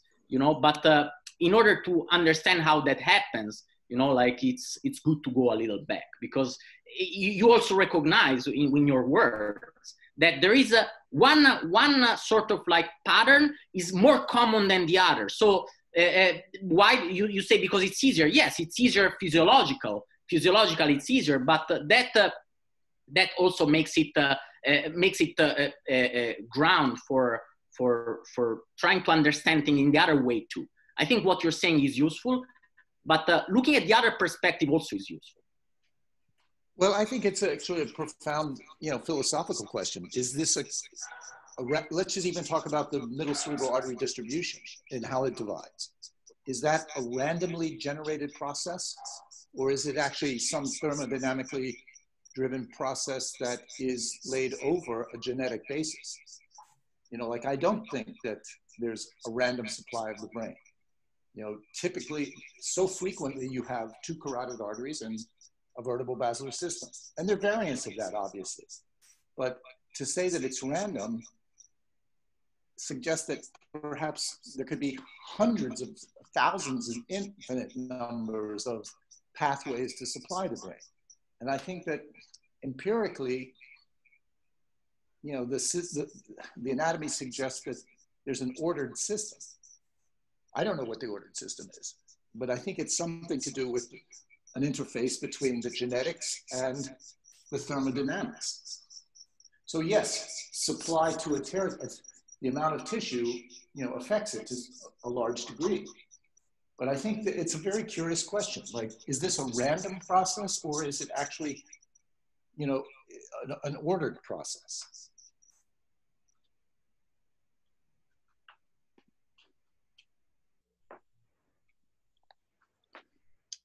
maybe we should go on with cases because otherwise people will just leave us and, and say I, I, I, thank you everybody. Is anybody else? I think we should spend some time on this. It's not, you know, this is important because we, there's just, in part, I think it's important because when people look at embryology, like embryology is a tool and embryology, I think obviously it has a role and it's not we're, we're talking about embryology of vessels but it's not mean, Dodi, to your point, like it's not in isolation, right? There's embryology of everything. Like there's obviously a blueprint to our organism within all the uniqueness of us that we have, right? Um, so it's just part of it, and it's not like obviously we're not completely random. We're all human, um, and so there there is, you know, there's there's all that, uh, but we do have to like stay grounded um, if we take embryology to extremes with all these diagrams and all these like ways to try to like you know sometimes it gets not just it's too complex. It gets it loses ground and people i think people lose interest. And we have to as you mentioned like you have to it has to there's a purpose to it. There's a purpose to understanding of how things work. People have spent lifetimes you know see looking at these patterns and putting it together. Um, and now that we like people like Johnny and, and so forth like when we put together what might seem like strange variants and like weird things that people have classified in maybe not so embryologically um, or physiologically grounded ways, now we can try to put a bigger picture of what is preferred and what is not. So, um, and as long as we stay grounded somewhere in between your view and the whole like the, the completely deterministic view, we're gonna find a balance. And I think we need to keep that balance in mind. Otherwise, we're going to lose our audience. Um, so um, um, let's go back a little bit. Is there any other questions that we have? Any comments about this, the Eitan's talk? Ophthalmic, anybody want to share? We have some cases to share. Um, uh, I think Vladimir, you're next up uh, for cases, but um, before that, any anything else? Does anyone have any um, anything to that? Okay, Max, Max, can I say something? Uh, Eitan, thank you for the, well, very informative uh, lecture. It, I, I believe it took a lot, a lot of work to, to, to uh, put all these slides and uh, do this lecture. Uh, can I have uh, your comment on, you know, uh, you had a case where, where the patient lost his vi vision after a thrombectomy. Um, and you talked about checking out the you know choroid blush uh, for the, um, the patency of the uh, ophthalmic artery. Uh, but do you think if we have the occlusion of only the central retinal artery, would would you be able to see to, to still see the choroid blush while losing the vision? Thank, would that be thank possible? You for, thank you for asking because I meant to say that and I probably forgot. And uh, so thank you for uh, leaving me there.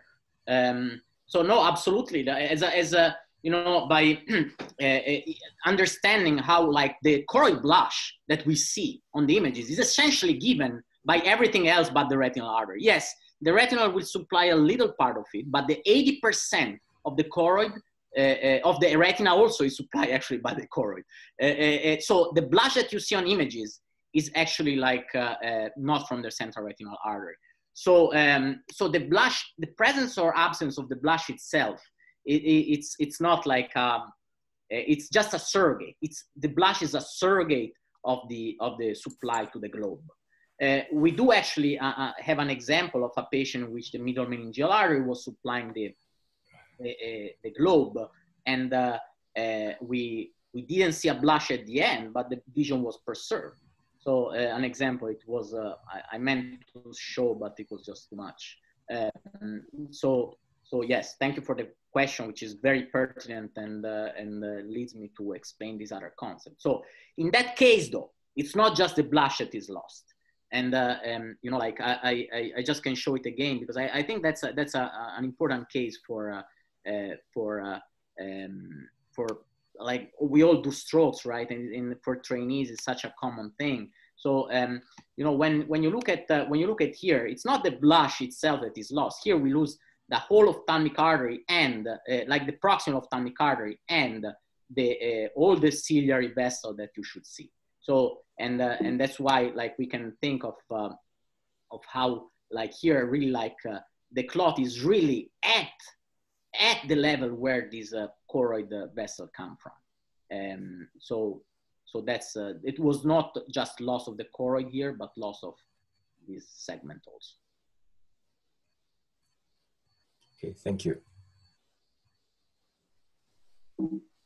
Uh, Rafael, I think you have a question. Uh, good morning. Thank you very much. Uh, I want to ask if you have some preference or some criteria for do embolization of the anterior uh, dural fistula, uh, anterior fossa dural fistula. Uh, when do you prefer to do from the ophthalmic artery or transvenous embolization? For example, due to the risk of loss of vision, when do you prefer to do by the ophthalmic artery or by the venous, transvenous? Thank you, Rafael. That's a very good question. Uh, indeed, I think you have to have to be ready for any any any uh, any sort of intervention. First of all, don't forget surgery for the ethmoid fistulas is a very good option, right? In terms of uh, uh, uh, endovascular option, you you have a, a transarterial or transvenous when you think of transarterial, I showed a case in which we went through the ophthalmic artery, but potentially there may be also other routes. I have another case, for example, I did recently through the anterior, through the middle meningeal artery. There was the middle meningeal artery going anterior or the way. So keep that in mind too. I mean, look at your angiogram, the whole angiogram, and decide the best, uh, the best route. The transvenous approach, which is something that we did, and is something that uh, can be awesome, but not in all the cases. In the case that I showed you, for example, like the, the, the, the, transvenous approach was not good because there was a lot of tortuosity in those, uh, in those veins there. So getting through the vein all the way to the foot of the vein would not have been easy. Eh, there was no supply from other arteries other than the ophthalmic. So in that particular case, that really was the best and actually I would say only endovascular option. Keep in mind the transvenous approach had potentially some risks. There was recently a, a, a case shown in a, in JNIS in a technical video in which uh, uh, I think it was uh, Guillermo Dabus and Edgar Samaniego, in which they showed they had a, a, um, a, rupture of the vein while trying to catheterize and get to the foot of the vein. Now, rupture of such a vein, which is, has a high flow because of the fistula, can be deadly. And as I think in that case it was. So you know, keep in mind transvenous doesn't mean safe, okay? But sometimes it's a great option. And there it is, Max is showing the case. Yeah, so that's, I think that's, um, Eitan, that's your case. That's, Thank you very much. and, and then, so you can see whatever. It's a big vein, right? So like in this case, it's a really big kind of capacious vein. So we had like a little bit of, I don't know, like you're saying, it's not, it's not without risk, but in this case, it worked out. So we're like at the foot of this vein and just pack some coils um, in there. And I think we've had, like, I think last time we had a discussion about like, do you need to add any liquid embolic or not, whatever. We didn't do it here. I think it was just coils. Usually it's very sensitive, like it's very vulnerable in the venous side. You could really just kill it with some coils here. Um, anyway, there's a couple of these like on, on, on the, um, on the um, neuroangio site on the, um, in the case library. There's a couple of, like we have an example of each kind of treatment for the ethmoid fistula. That's, I think, the one that you did transarterially, like this. That's the hybrid wire, the headway, it's like whatever. It just works great. So that's the anterior meningeal artery. You're coming to the segment. And of course, like uh, Raphael, to your point, yes, like if you have a choice of ophthalmic versus non-ophthalmic, you're probably going to choose like a non-ophthalmic artery to go through because I think it's safe. Um, okay. All right. Any other questions? Okay. Um, Vlad, can you share your screen? Uh, so we have a couple of cases. Um, um, Vlad, if you could, let's see if you could start and make sure you, yeah, I think you should share the screen.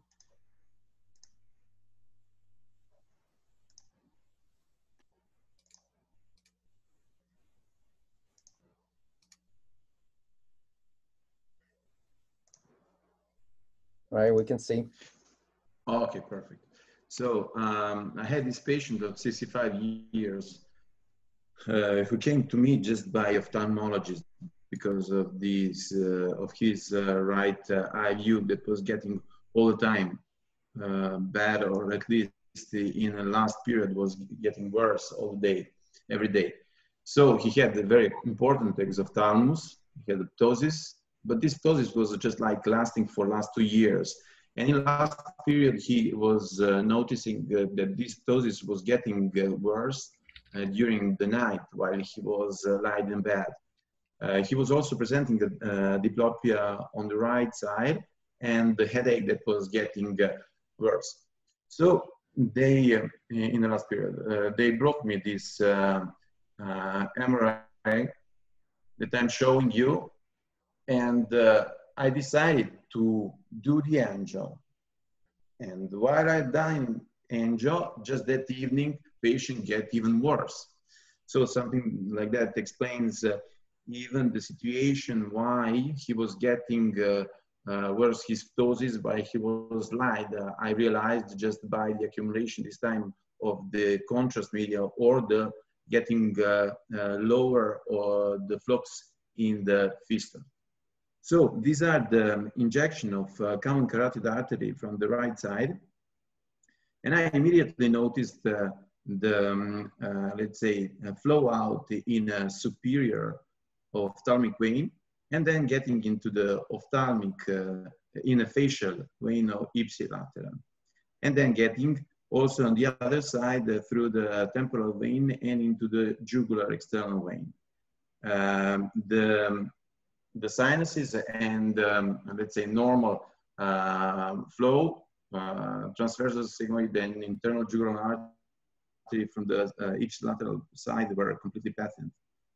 So I went on the other side, injecting, and I'm showing you uh, just the interesting arteries. I'm showing you the internal uh, carotid, injecting the internal, and then from the uh, superior hy hypophyseal artery, opacification of the, if I understood well, uh, patent part of the cavernous sinus and then uh, toward to us uh, into the uh, superficial, superficial ophthalmic, superior ophthalmic vein and then into the facial, from the other part into the uh, superficial uh, temporal vein. So uh, this is the selective angio, and I'm here just uh, in the external, uh, very close to the maxilla, and um, uh, studying the distal flow um, of the arteries, which I should choose for the possible embolization. I see um, a lot of different bench, branches. And when I've done uh, the uh, 3D angio reconstruction, I realized that I should pass somewhere here to get into the fistula and to embolize the vein.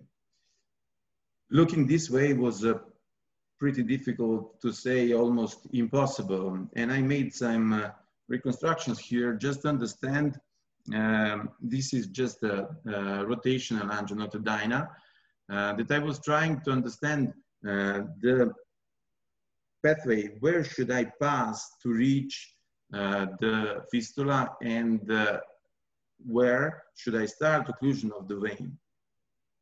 So in this case, I realized that I had the um, um, uh, fistula of the cavernous sinus the second type with the, with the venous outflow just through the superficial ophthalmic vein and distally into the ipsilar facial vein.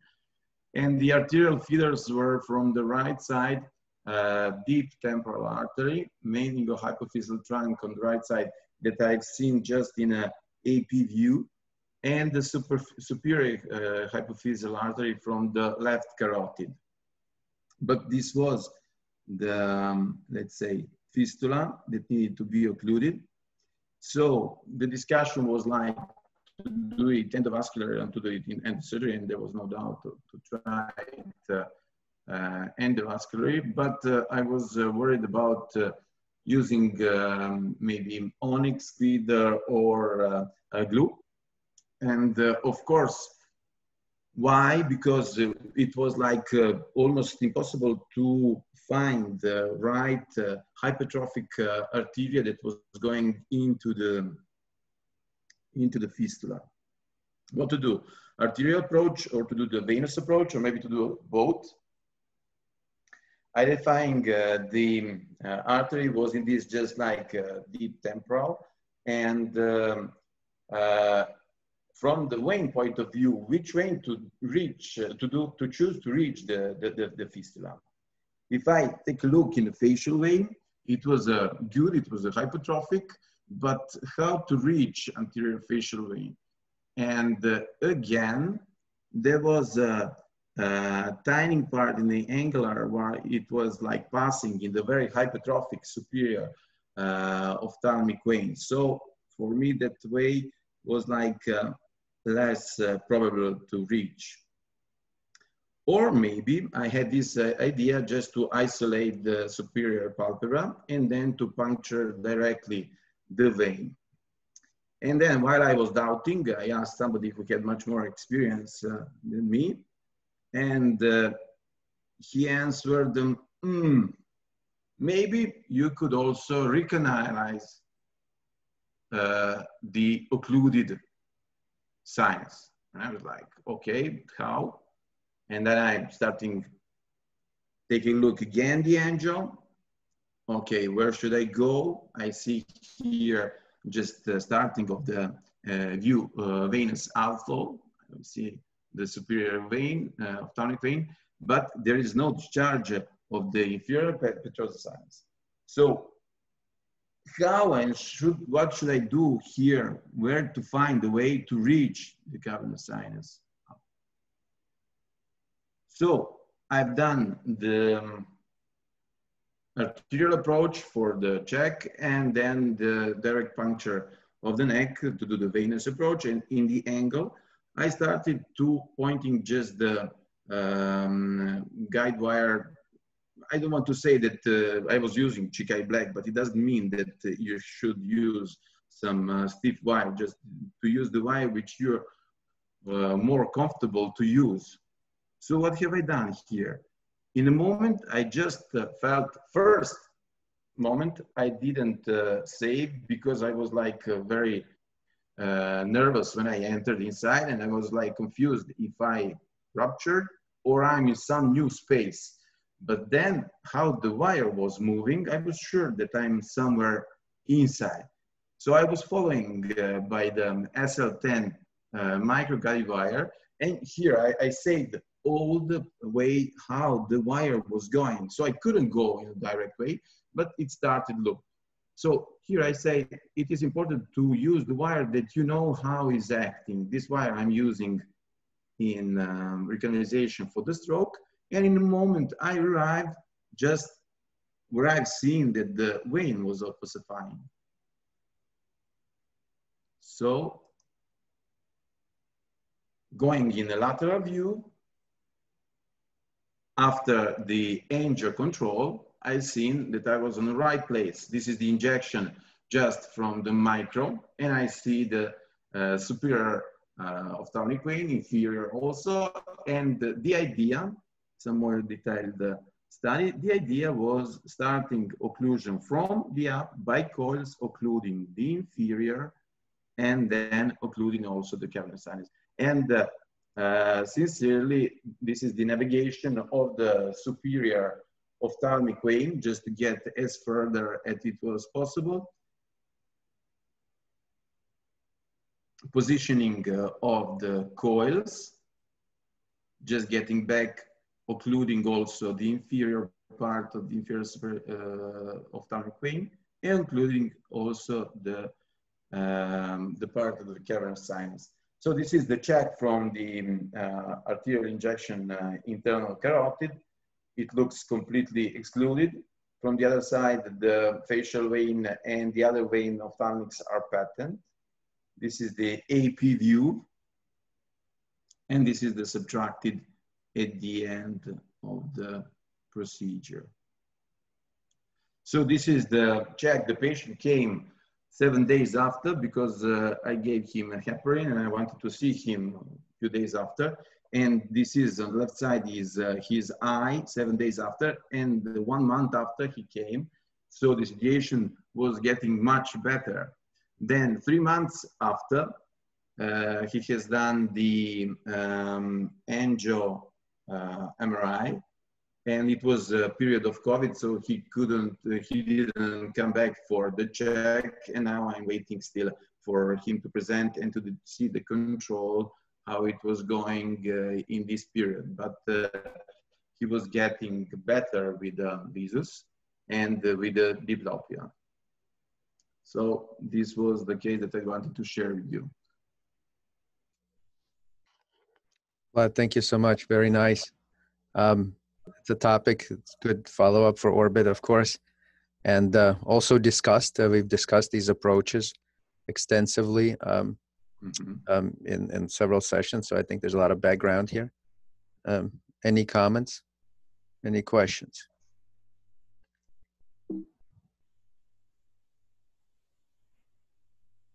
Um, uh, uh, Vlad, this is Eitan. Yeah. Um, that just just as a, I, I, I'm not sure if I missed, uh, you show maybe a CT or an MRI showing the mm-hmm. inferior petrosal sinus, but um, that's uh, like whenever we, we wonder if there is one or not there, like we mm-hmm. just uh, uh, for our trainees, keep in mind you can look for the for the bone uh, um, for the bone uh, bone around that area to to make sure that there is one because you know there is a as you know some some people just may have a, a, very small one or an atretic one. And the fact that we don't see doesn't mean that it's, it's thrombosed. Mm -hmm. Okay, sincerely, no, I didn't show it. And uh, this patient came uh, from the other hospital, so I had just angio MRI. But uh, the point that, or let's say that you are pointing, it is really true. So it is due to take a look on on the development of the petrosal sinus. I don't have the CT of this case. Okay, thank you. I would just add, Vlad, uh, depending on the machine, yeah. of course, we now you can do it like some sort of Dyna or some kind of 3D thing um, for the people that if you're coming in emergently, say someone just comes and they're, you know, coming through the ER, maybe you don't have the images. Uh, um, but yeah. yeah, I think it's, we, we could talk about it a lot. I think a lot of people um, in terms of transvenous approaches, probably right now, um, the two most commonly used ones are what you had showed um, and the, a direct puncture or some sort of like some sort of access into the, you know, from into the ophthalmic system. The direct puncture is, I think, gaining some steam um, there as well. Um, but um, it's very obviously it's really nicely done. Um, any other questions? If not, uh, we move on to Luca. Um, Thanks. But- I'll just uh, use this opportunity to uh, wish you a happy holidays because I don't think if will there be some more session before. yes, Yeah, thank you, thank you, you too, and to, to everyone as well. you're welcome. Come back It's and a pleasure, guys, to spend the time with you and discuss about this uh, fantastic subject. Thanks a lot for the opportunity. thank you. Thank you for showing a case, Vlad. Thanks, guys. All right. We Um, turn? um, I think yes, Luca, I can we can see you're starting. Okay. Perfect. Good good afternoon to everybody. Good, good, good morning in the rest of the world. Here is the afternoon. It's a, a day of holiday. Uh, I want the first thing I want to make my congrats to to Eitan. It was a wonderful, really incredible presentation. Really incredible. Very nice. Uh, nice. Don't say everybody that you're a friend of mine, okay? okay. okay. I, this is my new place of work. It's Bergamo. Maybe you know for uh, COVID in the last winter, and I now I work in the department of neuroradiology. A case of one uh, at the beginning of October, a young lady that came uh, with a subarachnoid hemorrhage, uh, 50, 54 years old, and uh, he got just headache. Uh, we did CT angio, we did MR, we did the first angio, but no, we, we found anything. No, no, no aneurysm, no malformation, no fistula. But I decided to, I proposed to repeat the, the angio, and we did uh, again a six vessel uh, angiogram. And uh, during the catheterization of the right external artery, this is what I saw with my eye. And I say, oh, this is a fistula, something like this. Okay, I got it. We have to work in the next hours. But at the end of the image, I saw that there is something that it was not usual, not uh, frequent in fistula. I saw the, the brain parenchyma. So I turned my, my, my arch and I got, I, I was in a, on a mount plane uh, and I got the, the same projection. Catheterization, the, I got the catheterization of the ascending pharyngeal artery. But surprisingly, the neuromeningeal branch went to the other side. And I say, woohoo, very interesting now. So I enlarged the, my, my field of view. And again, with the catheter inside the ascending pharyngeal artery, I saw things like this. And I was like the first time with my best girlfriend.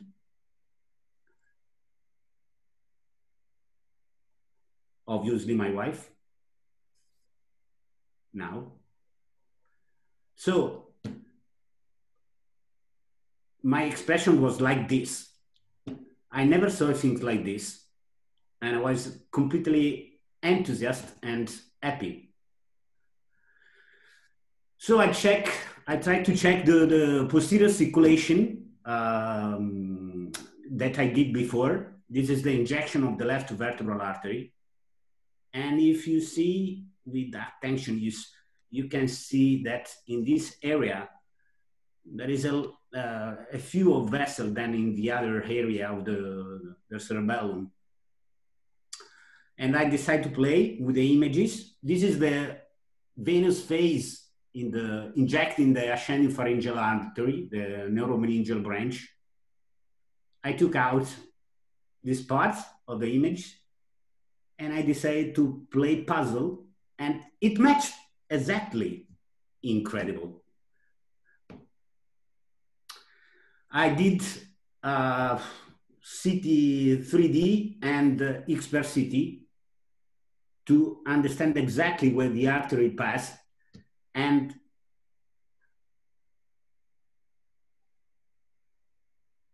maybe I think that the, uh, in this case, in this variant, the neuromeningeal branch of the ascending pharyngeal artery uh, gives a, a, branch for posterior meningeal artery passing side by side to the falx of cerebellum.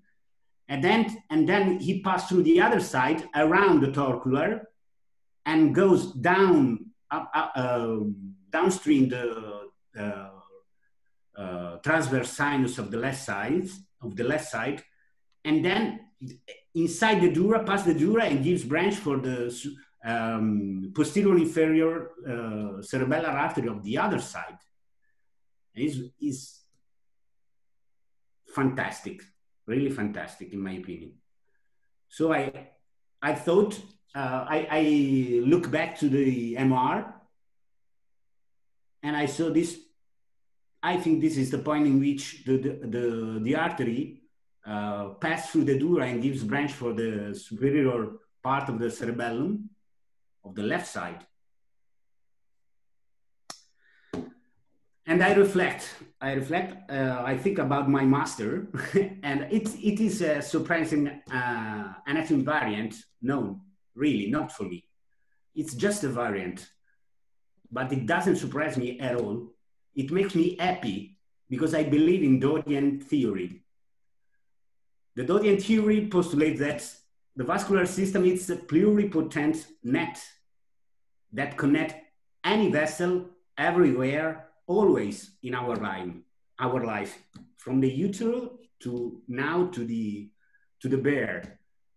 And the progressive use of one of the infinite pathway, one of the infinite net uh, wires within the net is produced by chance, by random, principle of least effort, and extent of blood requirement, as my master said before. So in this patient, in this lady, Claudia, one day in utero, along his life or later, and by chance, the blood, or better, the cerebellum got easier to have blood passing through the neuromeningeal branch of the ascending pharyngeal artery, again, in, instead of using other branches, other, the usual uh, ways, so left vertebral artery, left subclavian artery, left vertebral artery, basilar, top of the basilar, superior, uh, inferior, posterior cerebellar artery. And at the end, it was just one of the infinite but usual variants of the ascending pharyngeal artery the same that uh, Eitan showed before for the ophthalmic artery. We are all, all of us are variants. So I think we have finished. Luca, thank you. You're welcome. Uh, okay, so um, Dodi, I know you had some, you have some, uh, we have maybe like five, six minutes. So I think maybe you want to show if anyone has questions, uh, comments coming up. Maybe we can go a little bit over. You, Dodi, you have some pictures of what this looks like intraoperatively or like on, on not an not an angiogram, and maybe any comments. Um, I, I have a comment. I have a comment, Max. Yeah, yeah. Go so, ahead. So one uh, uh, um, one way to interpret this is also the following, in my opinion, Luca. Um, so we always see like the posterior meningeal artery. It's usually it has a lot of variants, right? Like we can see it coming from like uh, you know uh, or going to anywhere depending on the, your centrifugal or centripetal way, right? Yeah. So so we see coming from the ascending pharyngeal artery or occipital artery, pica, and so forth. In this case, this patient had a dominant posterior meningeal artery coming from the right uh, uh ascending pharyngeal, which by the way had a common trunk with the occipital artery. So as Miguel Litao said, it was like a, a, a oh no, he said something else. But anyway, it was a pharyngoccipital uh, ascending pharyngeal, neuromeningeal trunk coming from the uh, occipital artery, as just as a reminder of all the variants. Now, in this case, the posterior meningeal artery was coming from the right. Now, what happens on the left is uh, it seems like it's a, um, it's a sort of like a synangiosis, right? You can think of a synangiosis that uh, like maybe like that part of the cerebellum like needed more like uh, supply and the PL supply failed or, or didn't develop uh, the, the common way, as you said. And so if that area of the cerebellum needs a, needs a dural supply for synangiosis, the vessel that finds there is the posterior meningeal artery comes from the right side. So, you know, it's just, uh, I'm not saying anything different from you. I'm just, uh, uh, um, just essentially adding, uh, uh, adding one way to look at this. If the, if the, if the, you know, if the meningeal artery was coming from the, there, from, from the left side, it would have been ipsilateral. But essentially it's the, is the synangiosis, meningeal to PL, uh, to PL yeah. We see, we, we, we see usually things like this in Moya Moya, when yeah. you inject the medial meningeal artery. Yes, I, exactly. It's the same. Is exactly now in this case, it seems the cerebellum there is normal. The patient is developmentally okay. So, um, so. But but the problem is that this lady has no. Mm, uh, in anamnesis, no no pathology of the posterior. Yeah, yeah, and also the cerebellum looks normal. So you know, this is a, uh, you know, um, Kitty Pong. Have, have we have we seen um, synangiosis in normal patients in the supratentorial brain? Yeah, supratentorial. Uh, yes, uh, it's secondary. What what you meant is like uh, secondarily developed uh, anastomosis, dural supply. Uh, but this one, I think the the connection is not that. You know, usually when we have those kind of uh, dural supply, like in when we see in Moya Moya, you, it's kind of like diffuse connections. You cannot de- depict one single channel that connects directly. This is like a, a direct bypass, or uh, I don't know what what to uh, how to describe this one, but it's a direct channel from from the dural artery to the pial artery. We have seen one. Uh, Hima was uh, uh, making some comments in the chat uh, that she, she's shown one uh, um, here probably some sometimes in in in spring.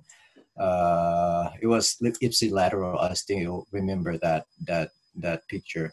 And I have one case similar to yours, Luca, and it was a little more faint, not that prominent as yours.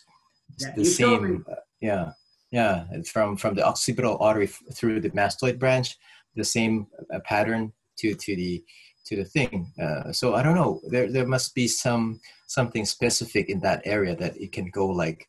We we we were having this uh, discussion on the uh, dural branches of pial arteries, uh, like we see from sometimes we see from the ACA to the, to the falx.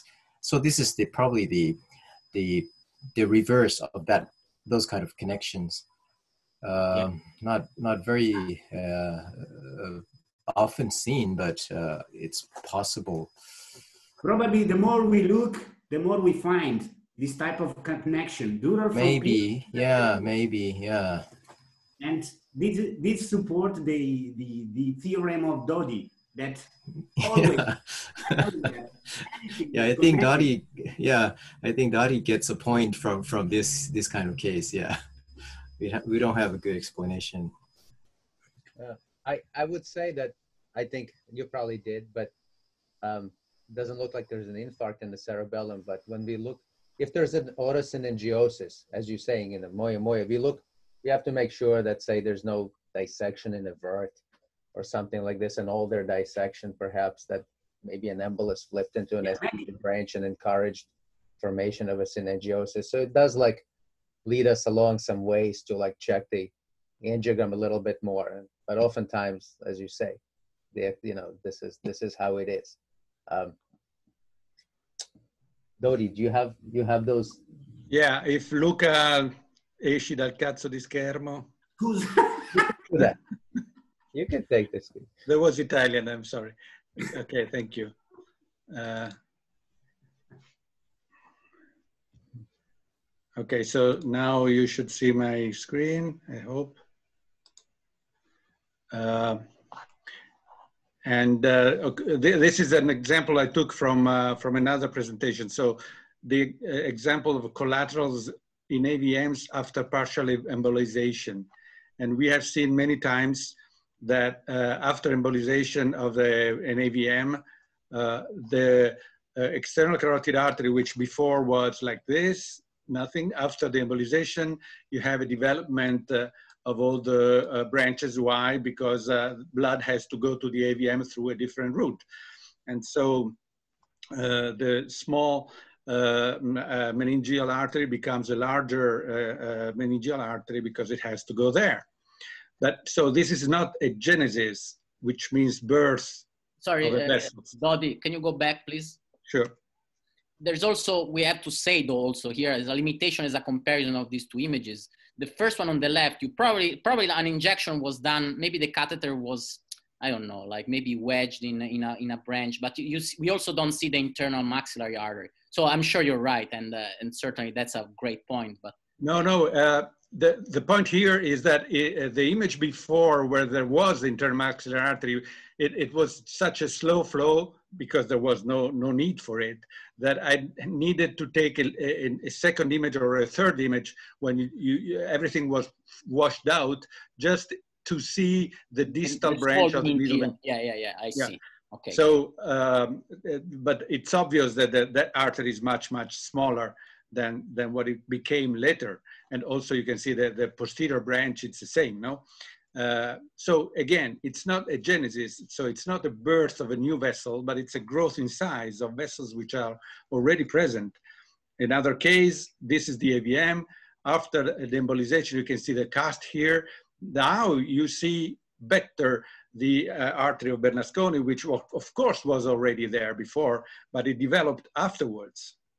And the same case, you can see that the middle meningeal artery also had become larger. And why that red uh, arrows show that one of the branches larger and the other one did not become larger. So why did the AVM choose one uh, or the other? of course, it's just random. It decided that it was easier one than the other. So how does this happen? Why do we have meningo to pial connections or pial to meningo connections? What is the, let's look at the normal anatomy. And to look at the normal anatomy, we probably need to go to surgery. So here at surgery, you can see when you open the dura, you have the dura here, you have the arachnoid there, and what's this? This is just a connecting vessel between the dura and the arachnoid. So it's what surgeons see every, every time. And I have to thank Dr. Emanuela Crobeddu for these images. Uh, again, dura, arachnoid, and the connecting vessel. And the surgeons have to, I hope you can see the, the, the movie here, have to look for this and coagulate them these bridging vessels, otherwise they bleed. So why? Because there are vessels on them. So there, there are these connections and you can see them very well. You, you can see a little, a little vessel uh, which is uh, going on on the, and they have just have to cut them. It's difficult to find these images. Why? Because usually surgeons don't record the opening of the dura. For them, it's just so such a simple and not interesting maneuver that you don't have these uh, usually on recordings. So really, I have to thank uh, Dr. Crobeddu for for finding this for me. And some more, again, you can see that little thing in the middle, and and you just have to to separate uh, the the dura from from the brain uh, by coagulating these vessels. These, I mean, these little off offsprings, which are which are uh, vessels dominated.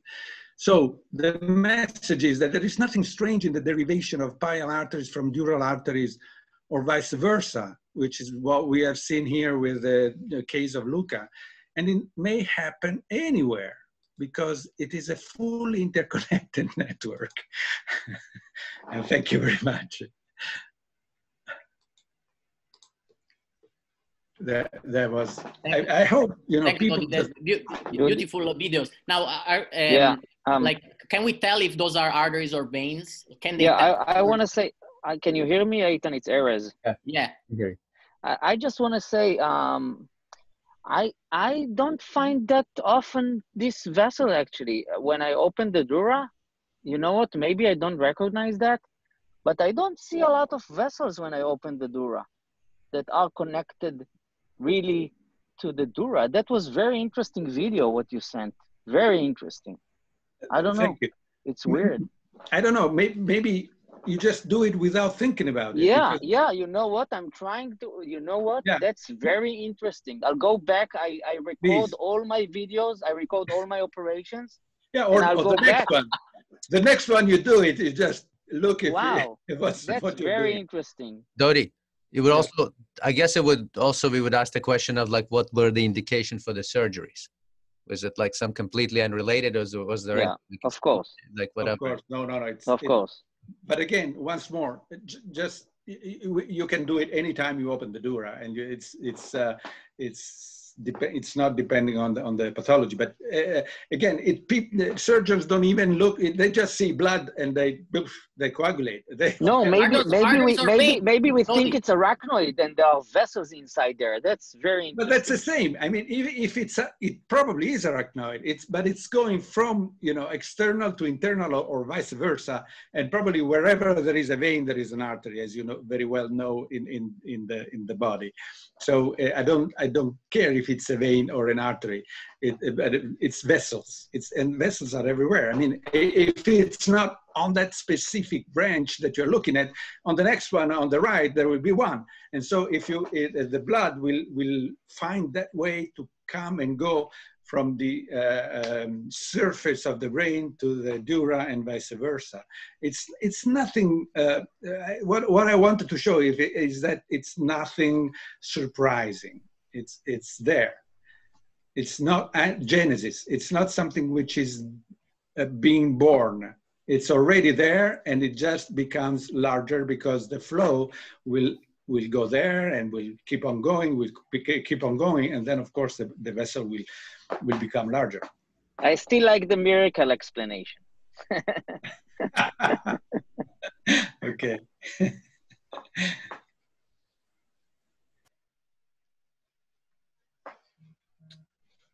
All right. Um, any comments? Anybody else? Um,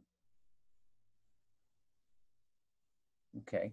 Okay, good. Um, so, um, great session. A lot of awesome discussion. Thank you, everybody. We will, um, so thanks again, everyone. Uh, Eitan, especially for tremendous amount of work on this. Um, we will um, be meeting again on the second uh, Tuesday of January. Um, topic. We'll send out a topic shortly. Um, but um, thanks for coming, and of course the recording is going to be there. Um, um, we'll uh, we'll see you later. Stay safe and happy holidays to everyone. Thanks, guys. Bye. Thank you. Thank you. Thank you. Thank you.